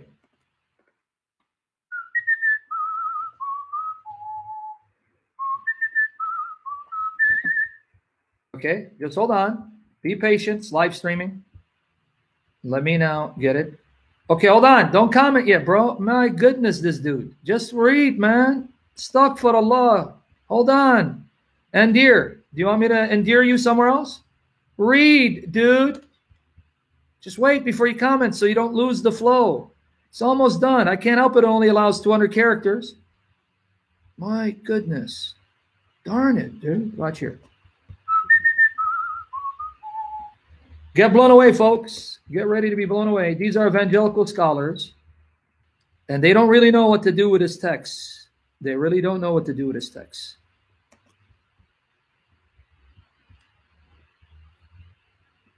I can't send you an email if you keep commenting and don't wait for me to finish posting. Okay, almost done. Here we go. Now let's read. Guys, I posted it for you and I gave you a link. But what you can do is you can either go to the link, read it, or read what I posted. So let me read it for you. Guys, please pay attention to what the comment to this passage says. Get ready to be blown away. Psalm 82, verse 1. TN means textual note. The phrase Adat Il, assembly of Il, appears only here in the Old Testament. One, some understand Il to refer to God himself. In this case, he is pictured presiding over his own, uh, own heavenly assembly. So that's one view. Two, the second view. Others take il as a superlative here, meaning an adjective. God stands in the great assembly. Okay, so an adjective. As in Psalm 36, 6 and 80, verse 10. Three, third possible interpretation. This one's going to blow you away. Third possible interpretation. The present translation, the one they gave, the one that they gave in their translation assumes this is a reference to the Canaanite high god El. Oh boy. These scholars assume it's referring to the Canaanite high god, the pagan god El, who presided over the Canaanite divine assembly. See Isaiah 14 13, where El or El's assembly is called the stars of El.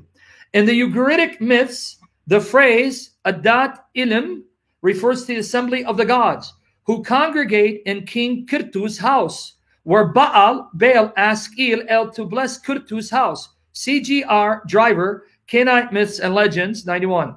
I have this book, but it's in storage, unfortunately. If the Canaanite divine assembly is referred to here in Psalm 82:1, then the psalm must be understood as a bold polemic against Canaanite religion. Israel's God invades Il's assembly, denounces its gods as failing to uphold justice, and announces their coming demise. For an interpretation of the psalm along these lines, see along these lines, see W. Van Gemeren, Psalms, EBC. Did you catch it? Did you see what this evangelical translation says?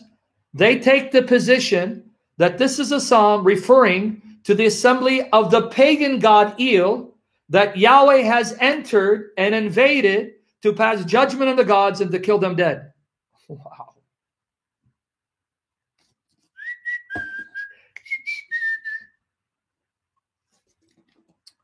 You see what they're saying? Now, notice how they get around it. Let me explain to you what they're trying to say. They're Trinitarians, but they're trying to argue not that Il is really the high God and that this is really his assembly. What they're saying, watch here. Let me explain what they're saying. They're saying it's a polemical psalm where the psalmist is saying to those who believe in this pagan pantheon, the true God is powerful over your gods, and your gods will be destroyed by the true God.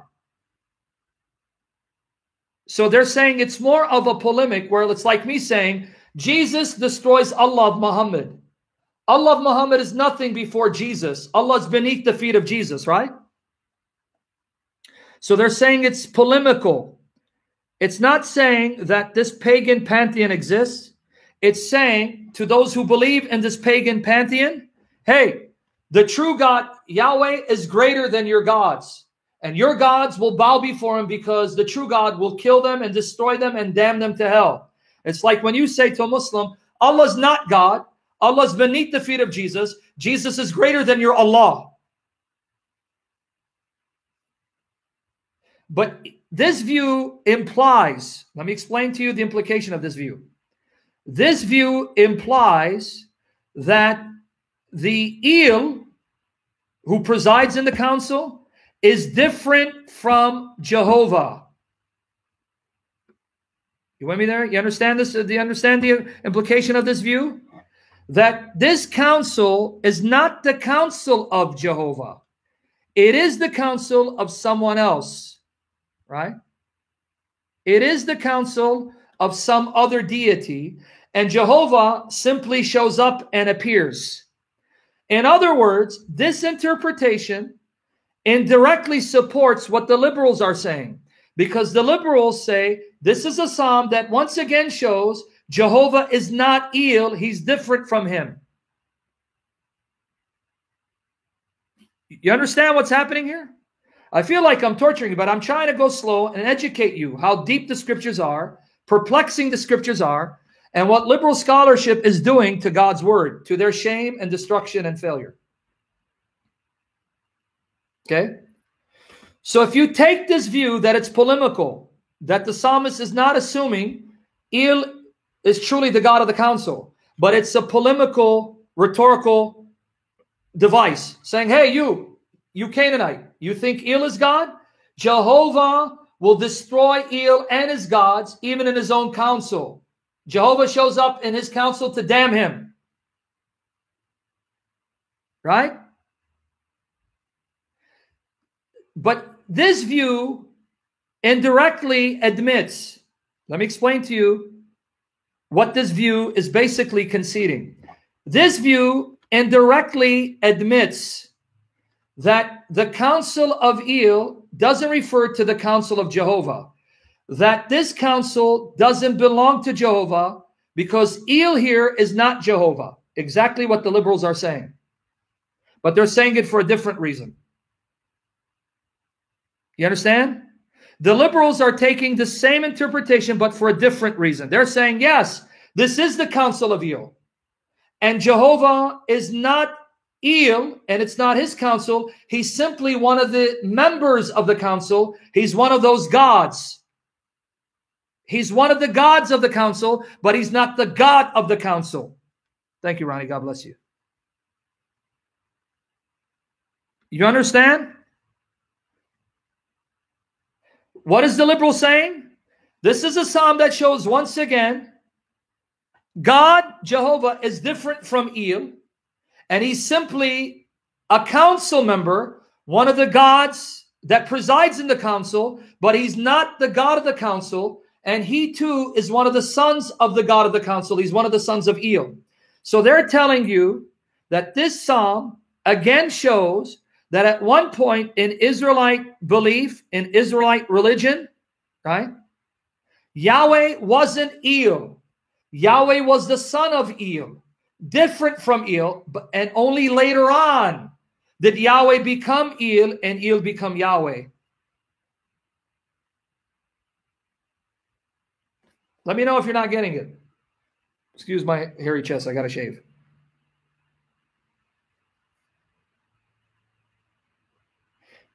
That's the liberal position, Jojo. Remember, NET is produced by evangelical Trinitarian scholars. So they're not saying the creator is not supreme. They're saying it's a polemic against the pagan god El. Just like you would say, Jehovah damn Allah, Allah's beneath the feet of Jesus. You don't assume that Allah exists. You're saying you who think Allah exists, you're Allah who doesn't exist, but you think so, he's beneath the feet of Jesus, the true God. Right?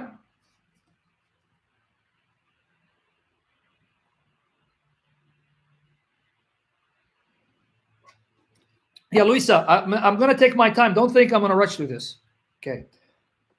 This position that you just read, Luisa, by evangelical Trinitarians, they're saying this psalm is written to attack the Canaanites and their belief in El and the pantheon of gods.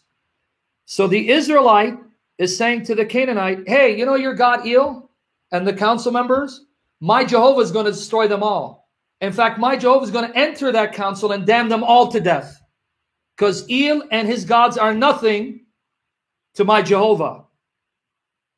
That's what NET translators are saying. They go, that is a possible interpretation. That's the view they take. Okay? So, Luisa, you got that so far. And Marcy, everyone else, you got that so far. That's what these Trinitarians are saying. It's polemical. It's saying to those who believe in these gods, your gods are nothing. Your gods are beneath my God, and my God's going to damn all your gods and kill them dead. He's going to kill that pagan Il, his consort, and his sons. Damn them all. Liberals, however, are using the psalm for a different reason. They're saying, yes, Jehovah's not the God of the council because he's simply someone who stands in the council as a member of the council the God of the council is El, showing once again that Israelites didn't believe that Jehovah was El early on in their history. They believed that Jehovah was a separate God from El. El was the chief God, even over Jehovah, and Jehovah was his son. And this is what this psalm proves. That's what the liberal is using it for. Right? Everyone with me there?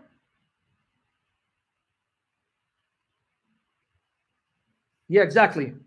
But I'm going to tell you neither the interpretation of the NET scholars, translators, nor the interpretation of the liberal liberals is correct. Neither one is correct. Neither one. But I'm going to show you that this is another Old Testament proof for the Trinity. Are you ready for the proof?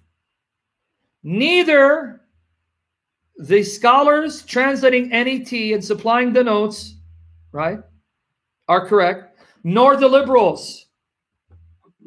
Okay? But I will tell you that this is another psalm that proves the triunity of God. Crack, not even Michael Heiser's view is correct. Okay, now let me explain Heiser's view. What do you mean, remind you which, Sam? I, I don't understand, Marcy. Remind you of which? Psalm 82, I'm sorry, it's Psalm 82. Psalm 82. Okay. Croc, let me tell you how Michael Heiser explains it. He explains it in lines of the first interpretation given here. Let me show you. Heiser tries to argue that the Hebrew grammar doesn't necessarily distinguish the God who stands in the council from the God of the council. This is Heiser's position. Let me show you again. Remember, they gave three possible interpretations. Here is the first one. Heiser believes this one. Here you go. This is Heiser's view. Some understand El to refer to God himself. In this case, he's pictured presiding over his own heavenly assembly. So Mike Heiser believes when it says Elohim stands in the assembly of El, that's simply another way of saying God is taking a stand in his own council. God is taking a stand in his own council. So it's not talking about Elohim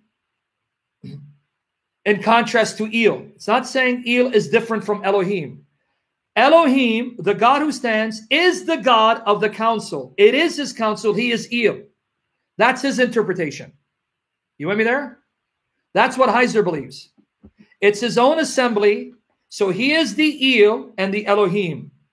The God who stands is the God of the assembly. The God who stands is standing in his own assembly. It is his assembly. So El is not different from Elohim. Okay, that's what Heiser believes. But then he has to explain why the verb stand is used.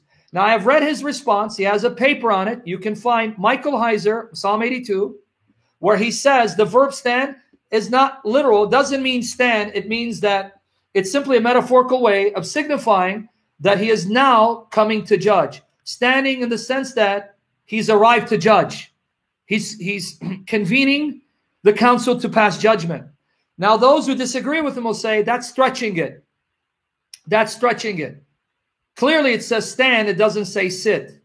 And then they bring in Psalm 82, verse 8 to say, it says, Arise, O God. That's what Michael Heiser uses. He says, You see, it says, Arise, O God, proving that he does sit in the assembly.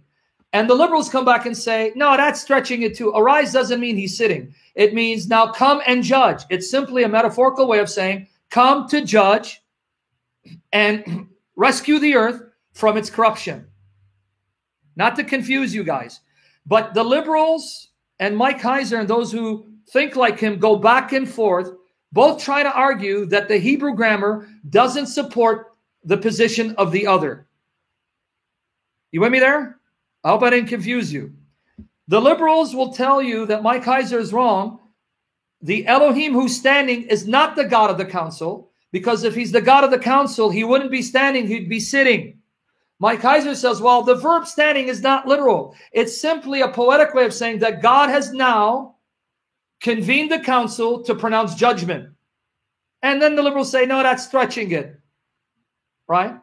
And then Heiser will go to Psalm 82 8 to say, see, proof that he's not literally standing. Psalm 82 8 says, Arise, O God. See, if he's rising up, that means he's sitting. And the liberal says, no, that's stretching it because arise, O God, is simply a metaphorical way of saying God will now come in judgment.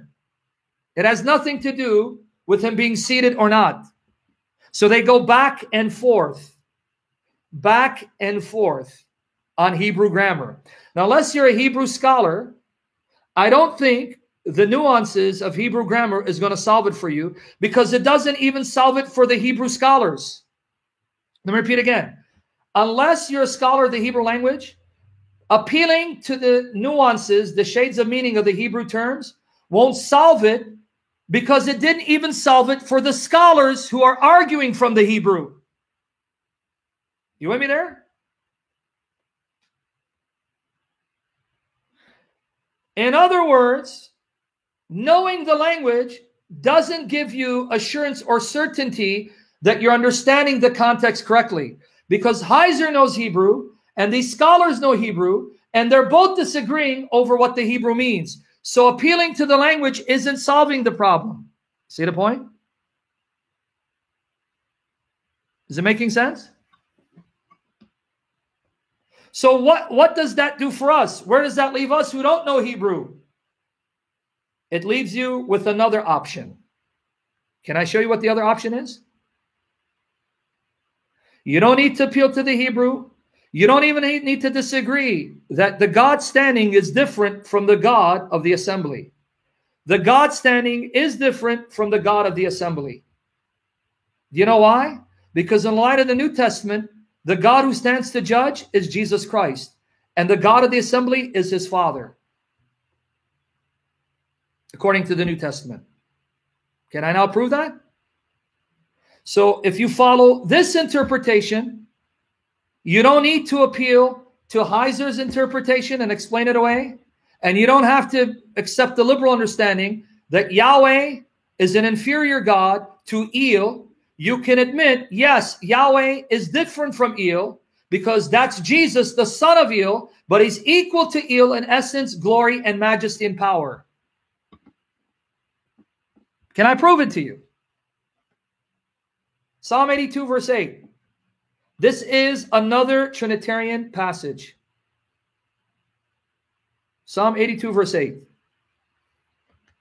Let me show you this interpretation. Now, do you know why Heiser and NET translators don't opt for this in interpretation? Do you know why they don't accept this interpretation before you quote it? You know why? Can I tell you all honesty? Why they don't say, yeah, that's Jesus the Son, who's now standing as prosecuting attorney in his father's assembly. Do you know why they won't up, don't even mention that as an option? Because liberal scholarship will laugh at that. Liberal scholarship will say, oh, you're reading back later Trinitarian understanding in an ancient document. And these evangelical scholars don't want to be laughed at by academia because they're trying hard to get the respect of liberal scholarship. The hell with liberal scholarship. Yes. Yes, Pedro, I'm not lying. Go and present this as an option to Daniel Wallace or to any of these other scholars, they'll smile at you and smirk at you. Well, yeah, that's a later understanding from a later generation and a later perspective. But we don't want to read that back into the ancient Near Eastern cultural context of Psalm 82. Why not? Why not? It is, Pedro. That's why, thank Jesus Christ, our Lord Pedro, you do not care about the respect and the acceptance of academia, even evangelical academia. That's why someone like me, or a James White too, we will never get invited to their conferences and their seminaries to lecture. We won't, because we don't toe the party line. I'm just being honest. And thank God we don't. Lord Jesus, do not let us prostitute and whore ourselves for fame and fortune. Never, Lord. But to be faithful to you by your power until death in Jesus' name. Okay? Are we now ready? For this interpretation, which is backed up by Jesus Christ. Backed up by Jesus Christ. Jesus backs up this interpretation. Psalm 82, verse 8. Psalm 82, verse 8.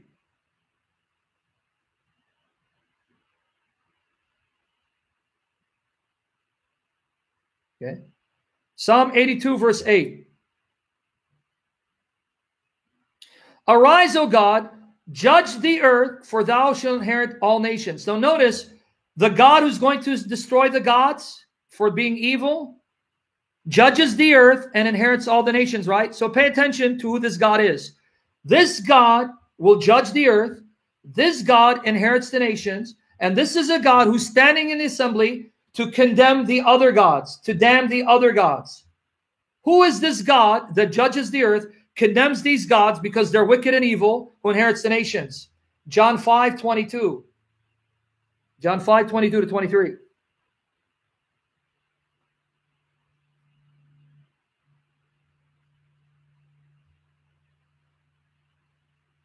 Here, John 5, 22 to 23.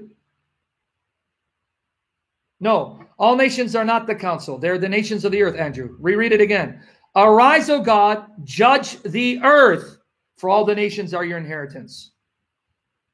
Now, notice what Jesus says, folks. For the Father judgeth no man, but hath committed all judgment unto the Son. Fact number one Jesus is the God who judges all the earth. The Father judges no one. The Son does all the judgment. That all men should honor the Son, even as they honor the Father. He that honoreth not the Son honoreth not the Father which hath sent him. Matthew 25, 31 to 34. Who comes to the earth to judge it and all the nations? Matthew 25, 31 to 34. Now, it's a long chapter. It goes from 31 to 46, but we're just going to read to 34. Matthew 25, 31 to 34. When the Son of Man shall come in his glory, and all the holy angels with him, then shall he sit upon the throne of his glory. The Son of Man comes with his angels to sit on his glorious throne, and before him shall be gathered all nations, and he shall separate them one from another, as a shepherd divideth his sheep from the goats, and he shall set the sheep on his right hand, but the goats on the left. Then shall the king say unto them on his right hand, Come ye blessed of my father, inherit the kingdom prepared for you from the foundation of the world. Did you catch it? Jesus, the Son of God, God is his Father. He's the Son of Man who comes with his angels to sit on a throne of glory, a glorious throne, to judge the nations. You catch it? But Psalm 82, verse 8 says,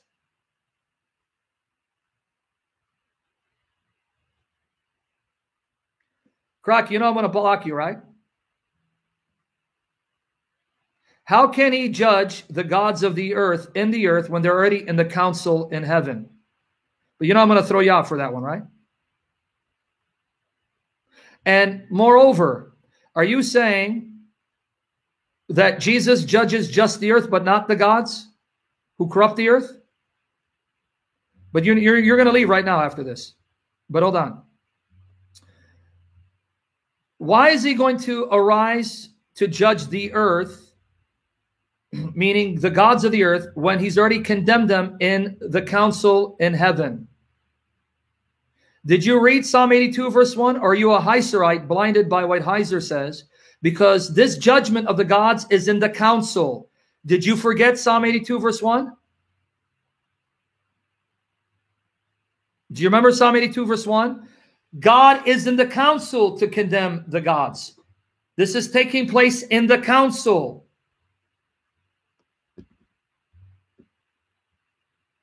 Do you get that crack or no?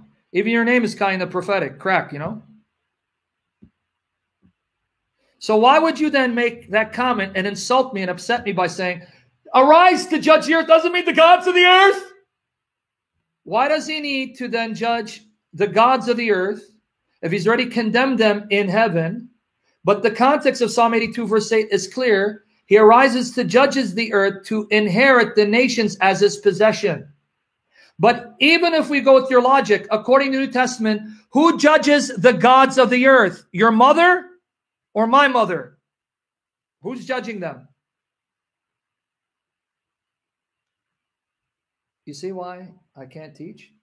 I'm losing my patience and testimony people like this with these kind of questions. You have patience, you can deal with them. I'm impatient, I'm a sinner.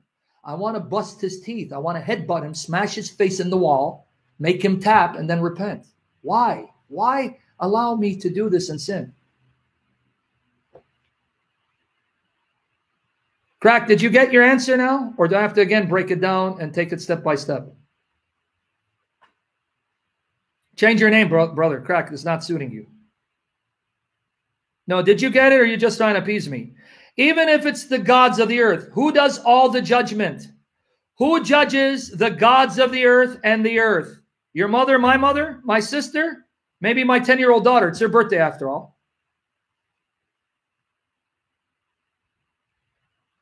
Who judges them? Okay. So why would you then interrupt the session say, I thought it's the gods of the earth? If all judgment is given to the Son, that means he judges everyone.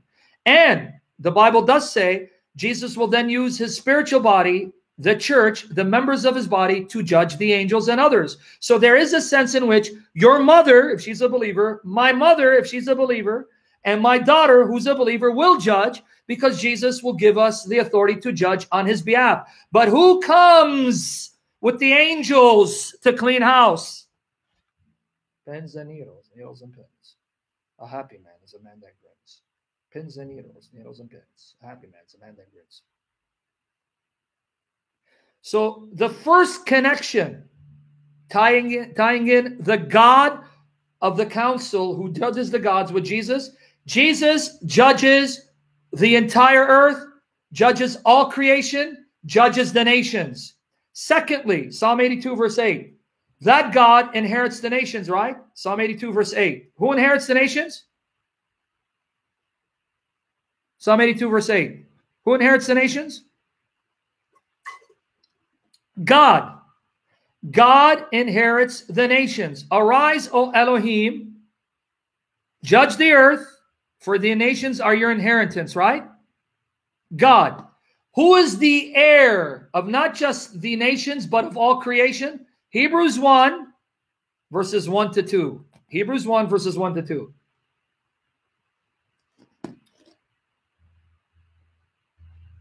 Hebrews 1, verses 1 to 2.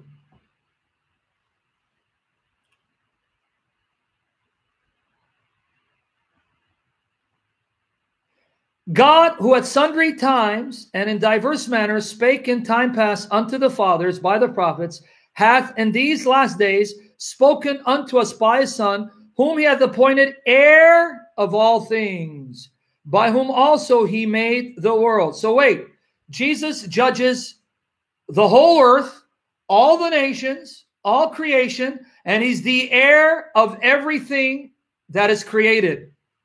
The God of Psalm 82, who judges the gods, is the God who judges the whole earth and whom the nations belong as his inheritance.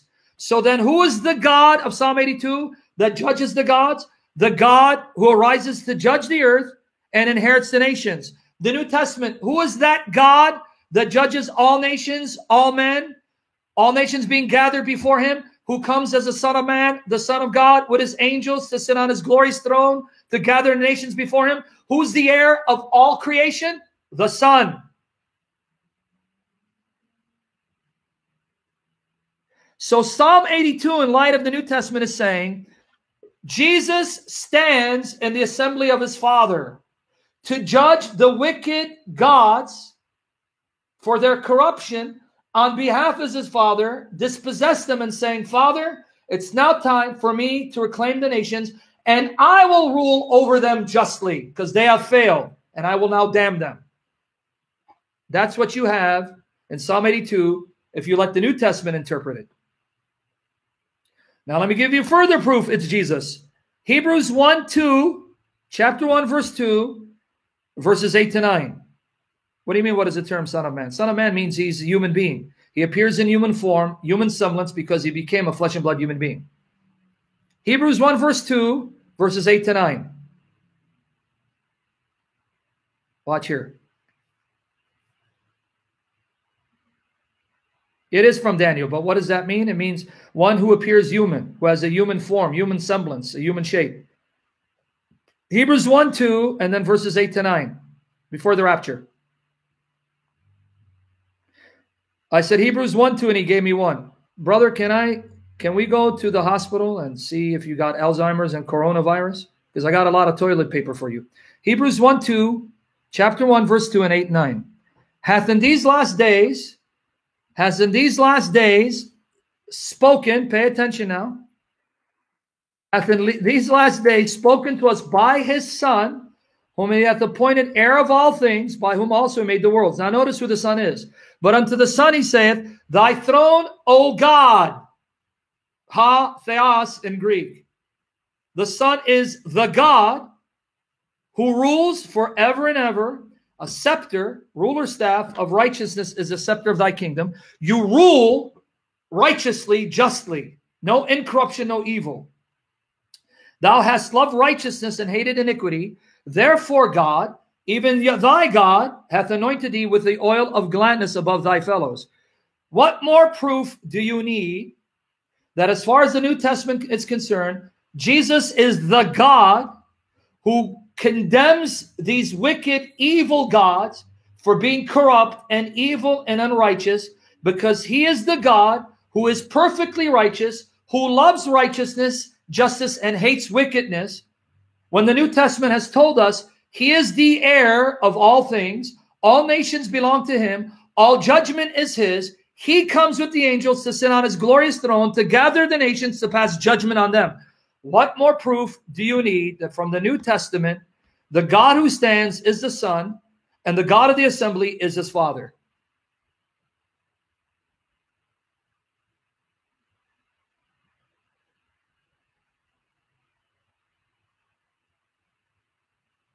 You get it? So, where are the liberals right? The liberals are right in Psalm 82, referring to one God who stands and the other God who owns the assembly. So the Elohim who stands to pass judgment on the gods is different from the Il, the God of the assembly. Not because Israelite religion evolved into thinking that Yahweh was an inferior de deity to El, and then later combined Yahweh and El together. Because the Old Testament is Trinitarian. Yes, Yahweh is the son of El, the son of the Most High. Yes, Yahweh is distinguished from El. But like El, he is the Most High God. He is uncreated. He is eternal. He's almighty. And El is also Yahweh. So you have two who are called Yahweh. One is the son of the other. So how does the Old Testament distinguish one from the other? By calling the Father El, Most High, and then calling Jesus Yahweh, the son of El. And this is all in the Old Testament. In other words, I don't have to do what Mike Heiser does, explain away the Hebrew language and get into a battle about Hebrew grammar, which doesn't convince either party because those scholars who also argue on the basis of Hebrew saying, no, you're wrong, you're stretching it. And Mike Heiser says, no, I'm not stretching it. It's valid interpretation. Instead of getting into a battle about grammar, yes, you're right. This Yahweh is distinguished from El. But he's right that the true God of Israel is triune. So Yahweh is not a secondary, inferior deity created by El. Yahweh is the eternal Son who's eternally existed with El as his Son. And with El, he is God Most High. And El is also Yahweh like his Son is. That's the proper way of interpreting these passages in light of the revelation of Jesus Christ. So then why doesn't Mike Heiser argue that way or Daniel Wallace argue that? Because liberal scholarship will laugh at them. You don't believe you can use these passages to show the Trinity, do you? You don't think for a minute that this Elohim who judges the gods, that's Jesus in his pre-human existence. Come on, man.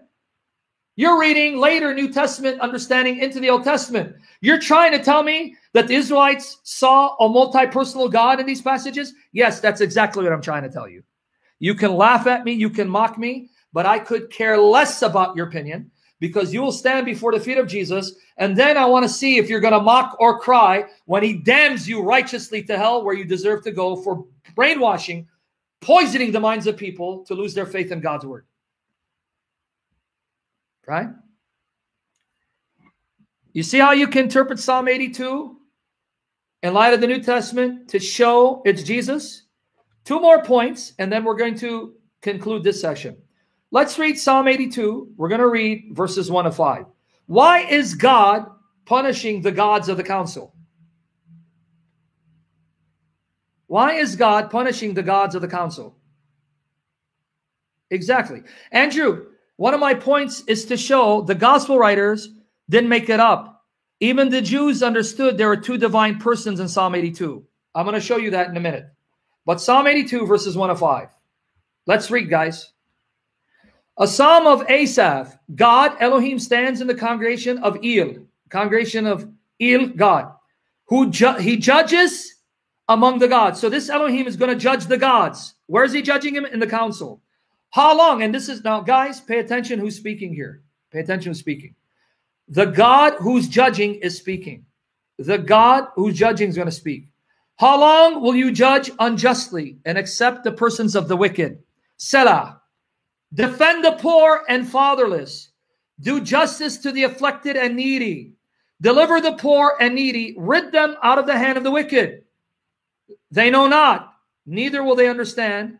They walk in darkness. All the foundations of the earth are out of course. So, why is God destroying these gods? Here's why. Guys, follow with me and make sure you get it. Why is God destroying these gods?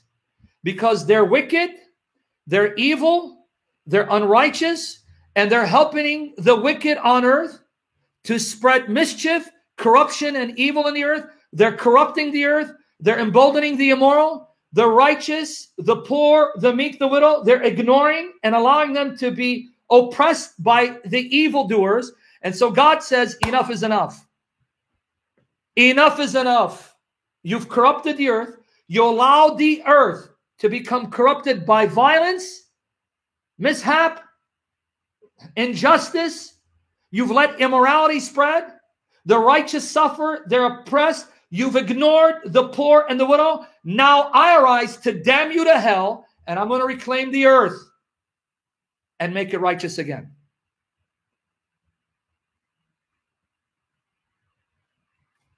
Okay? You with me there? You understand why these gods are being destroyed?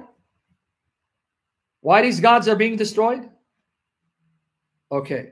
So now let's read Psalm 82, 6 and 7.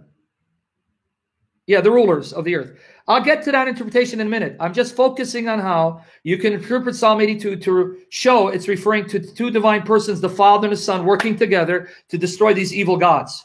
Psalm 82, 6 and 7. I have said, ye are gods, and all of you are the children of the Most High. There's that word Most High again, Elyon. But ye shall die like men. The Hebrew is, ye shall die like Adam. Ke Adam. Like Adam who died, you will die like Adam and fall like one of the princes. Like all these princes who die, you'll die with them. So notice, though I said your gods, Elohim, son of the Most High, Elyon, you are going to die like Adam died, and you'll be struck down like these other princesses for their wickedness, because you are nothing before me. You pose no threat before me. I can kill you with ease, and you can't raise a finger against me.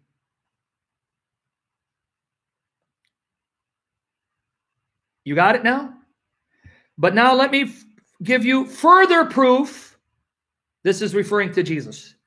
Further proof, this is referring to Jesus. Okay? These are the last two points. And then, God willing, I'm going to continue my session on henotheism. Okay? But further proof, these are that this is referring to Jesus. Do me a favor, Protestant. Post Psalm 82, verse 6, back to back with John 10, 33 to 36. Psalm 82, verse 6, back to back with John 10, 33, 36. Guys, almost done. And then in a few hours, I can do the session on the Holy Spirit. We can make a double header if you're interested. So far, I got 117. Hopefully, we'll get 160 later. I want to see 200. I want to break that mark in Jesus' name. Okay, guys, read. I have said, Ye are gods, and all of you are children of the Most High. Okay, see Psalm 82, 6 again. Pay attention. I have said, Ye are gods, and all of you are children of the Most High. Now let's go to Jesus and the Jewish leaders. The Jewish leaders. The Jews answered him, saying, For a good work we stone thee not, but for blasphemy, because that thou, being a man, makest thyself God. We're not stoning you for any good work, but you are a man, and only a man, nothing more, and you dare to claim to be God, the God man. How dare you? That's blasphemy. You deserve to die. Notice what Jesus quotes. Jesus answered them, Is it not written in your law? I said you are gods? Whoa, Jesus. You just quoted Psalm 82, verse 6. If he called them gods, unto whom the word of God came, and the scripture cannot be broken, say ye of him, do you say of me, whom the Father has set apart, has sanctified, and sent into the world, thou blasphemest, I blaspheme, because I said I, I am the Son of God? What more proof do you need? Psalm 82 is referring to Jesus as the judge of the gods. He even quotes it in defense of him being the God man. Did you catch it? He just quoted Psalm 82 6 in his defense. Hey, if those wicked, evil rulers who will be damned to hell for being evil, if they can be called gods, How dare you even accuse me of blasphemy for saying I am the God man, the Son of God, who's one with the Father in power and ability and glory, when that's truly who I am, and the miracles prove it. Do you need more proof from the New Testament, from Jesus himself? He is the God of Psalm 82 who passes judgment on the gods. Do you need more proof? He is the God who stands in the congregation of his father, the assembly of his father, to pass sentence and judgment and damn these wicked, evil gods to hell where they belong for spreading corruption, empowering the wicked, the immoral, and oppressing the weak, the poor, the widow, the needy, and the righteous. No, Jesus is not saying, I said you are gods. Psalm 82, he's quoting it. And in Psalm 82, the psalmist says, I said you are gods. Don't get confused. He's quoting it verbatim.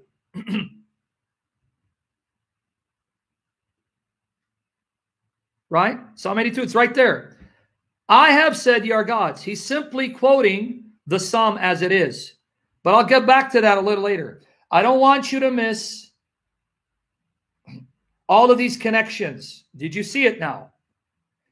Do you want any more proof that Psalm 82 refers to Jesus as the God who stands in the assembly of his Father, passes an indictment against these evil, wicked gods, and will now execute judgment and condemn them to death, like Adam was condemned to die for his sin, who then arises to judge the earth and inherit all the nations? You need more proof? So, yes, here's where liberal scholarship is right. Liberal scholarship is right. Psalm 82 is referring to two main divine persons Il, the God of the assembly, and Elohim, the God who stands to judge these other gods. The Il, who's the God of the assembly, would be the Father, and the Elohim, the God who stands to judge these gods, is the Father's Son, who is one with them in essence, power, glory, and majesty. So they are right. There are two divine persons there. Where they're wrong is in their assumption. This is proof of an evolution in Israelites' religion, so that at one time they thought Jehovah was an inferior deity, second to Il, Most High, and then later Jehovah becomes Il. No, Thank you, liberal scholars, for seeing something that Trinitarians should be seeing, but are scared to admit it, lest you attack them for being fundamental fanatics and reading too much in the Old Testament. But by your own words, by your own concession, by your own words, you'll be judged. So you are admitting these texts show clearly there, there is Jehovah and his Father, the Most High and both are depicted as God. And there are texts in which Jehovah is said to be the Most High, and yet he's distinguished from the Most High, which is exactly what a Trinitarian expects to find, liberal. Jehovah, Son of Most High, and he is the Most High with his Father, and the Father's also Jehovah, like his Son is. Welcome to the wonderful Old Testament world of the Trinity. Thank you. You just helped me prove the Trinity has been there from the beginning.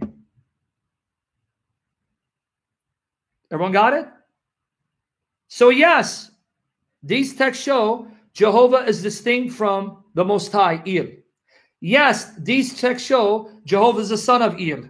Yes, these texts show that El, the Most High, gave Jehovah Israel as his inheritance. Yes, these texts show that Jehovah is the Elohim who stands in the assembly of El, his father.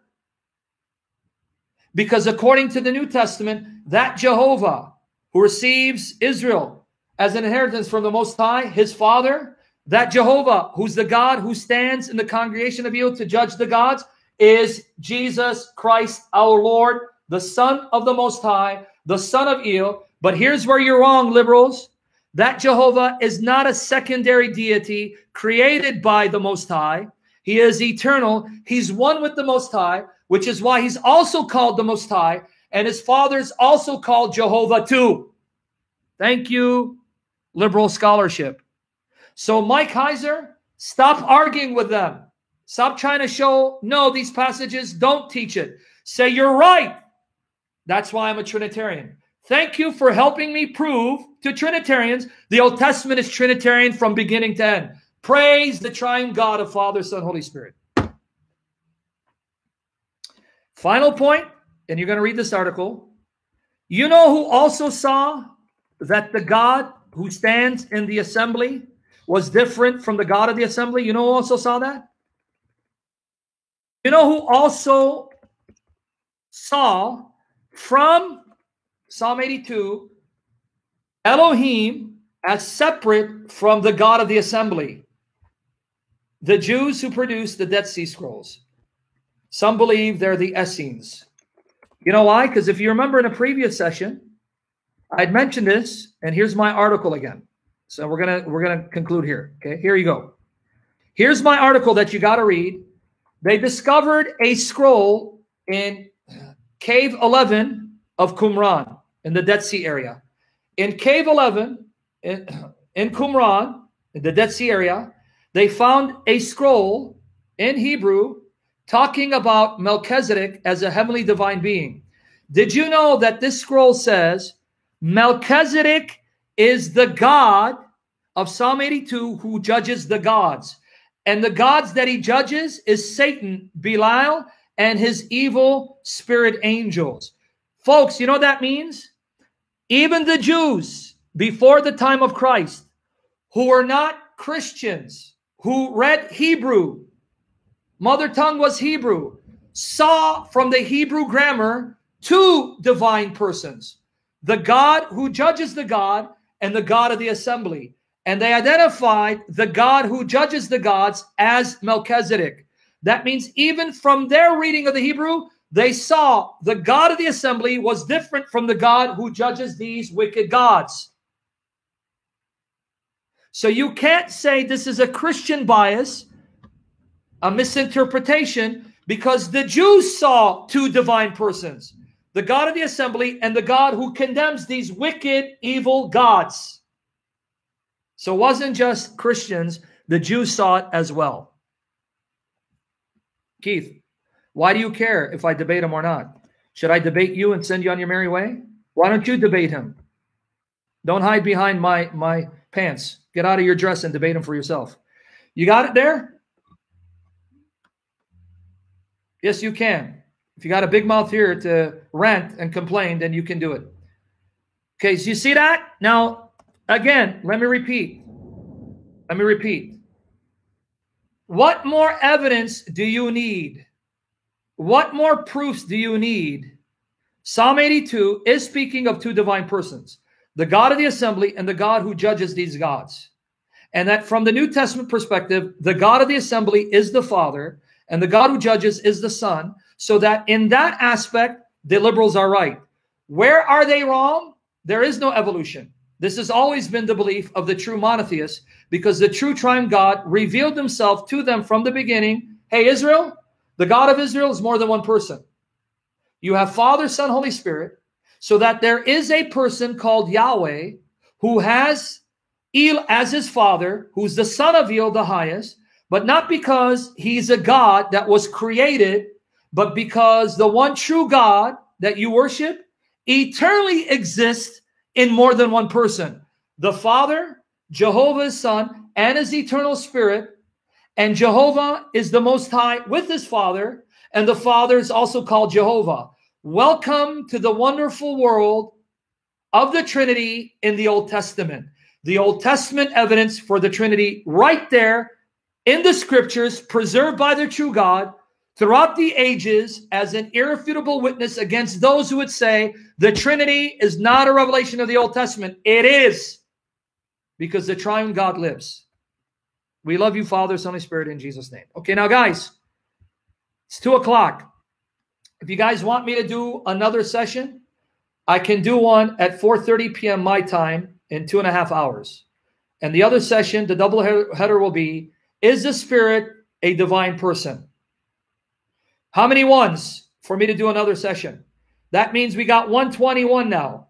If you're going to say one, I hope to see more than 120. I hope to see 150, close to 200, God willing. Should I do a double header? So now it's 2.15 my time. In two hours and 15 minutes, right? Yeah, two hours and 15 minutes. 4.30 p.m. my time, two hours, 15 minutes. We're going to do the Holy Spirit is a person. Invite people to come. I want more people because more people need to listen. I hope you're blessed. Christ is risen, risen indeed. And we love you, Father, Son, Holy Spirit. Two hours, 15 minutes. Tell people, don't make me sad. It's my daughter's birthday and the anniversary of my mother's passing into glory. I want to see 200 in Jesus' name. If not, I'm going to look, hunt down Protestant believer and lay hands on him and knock out first and the last. Okay. See you in two hours and 15 minutes, Lord willing. Christ is risen, risen indeed.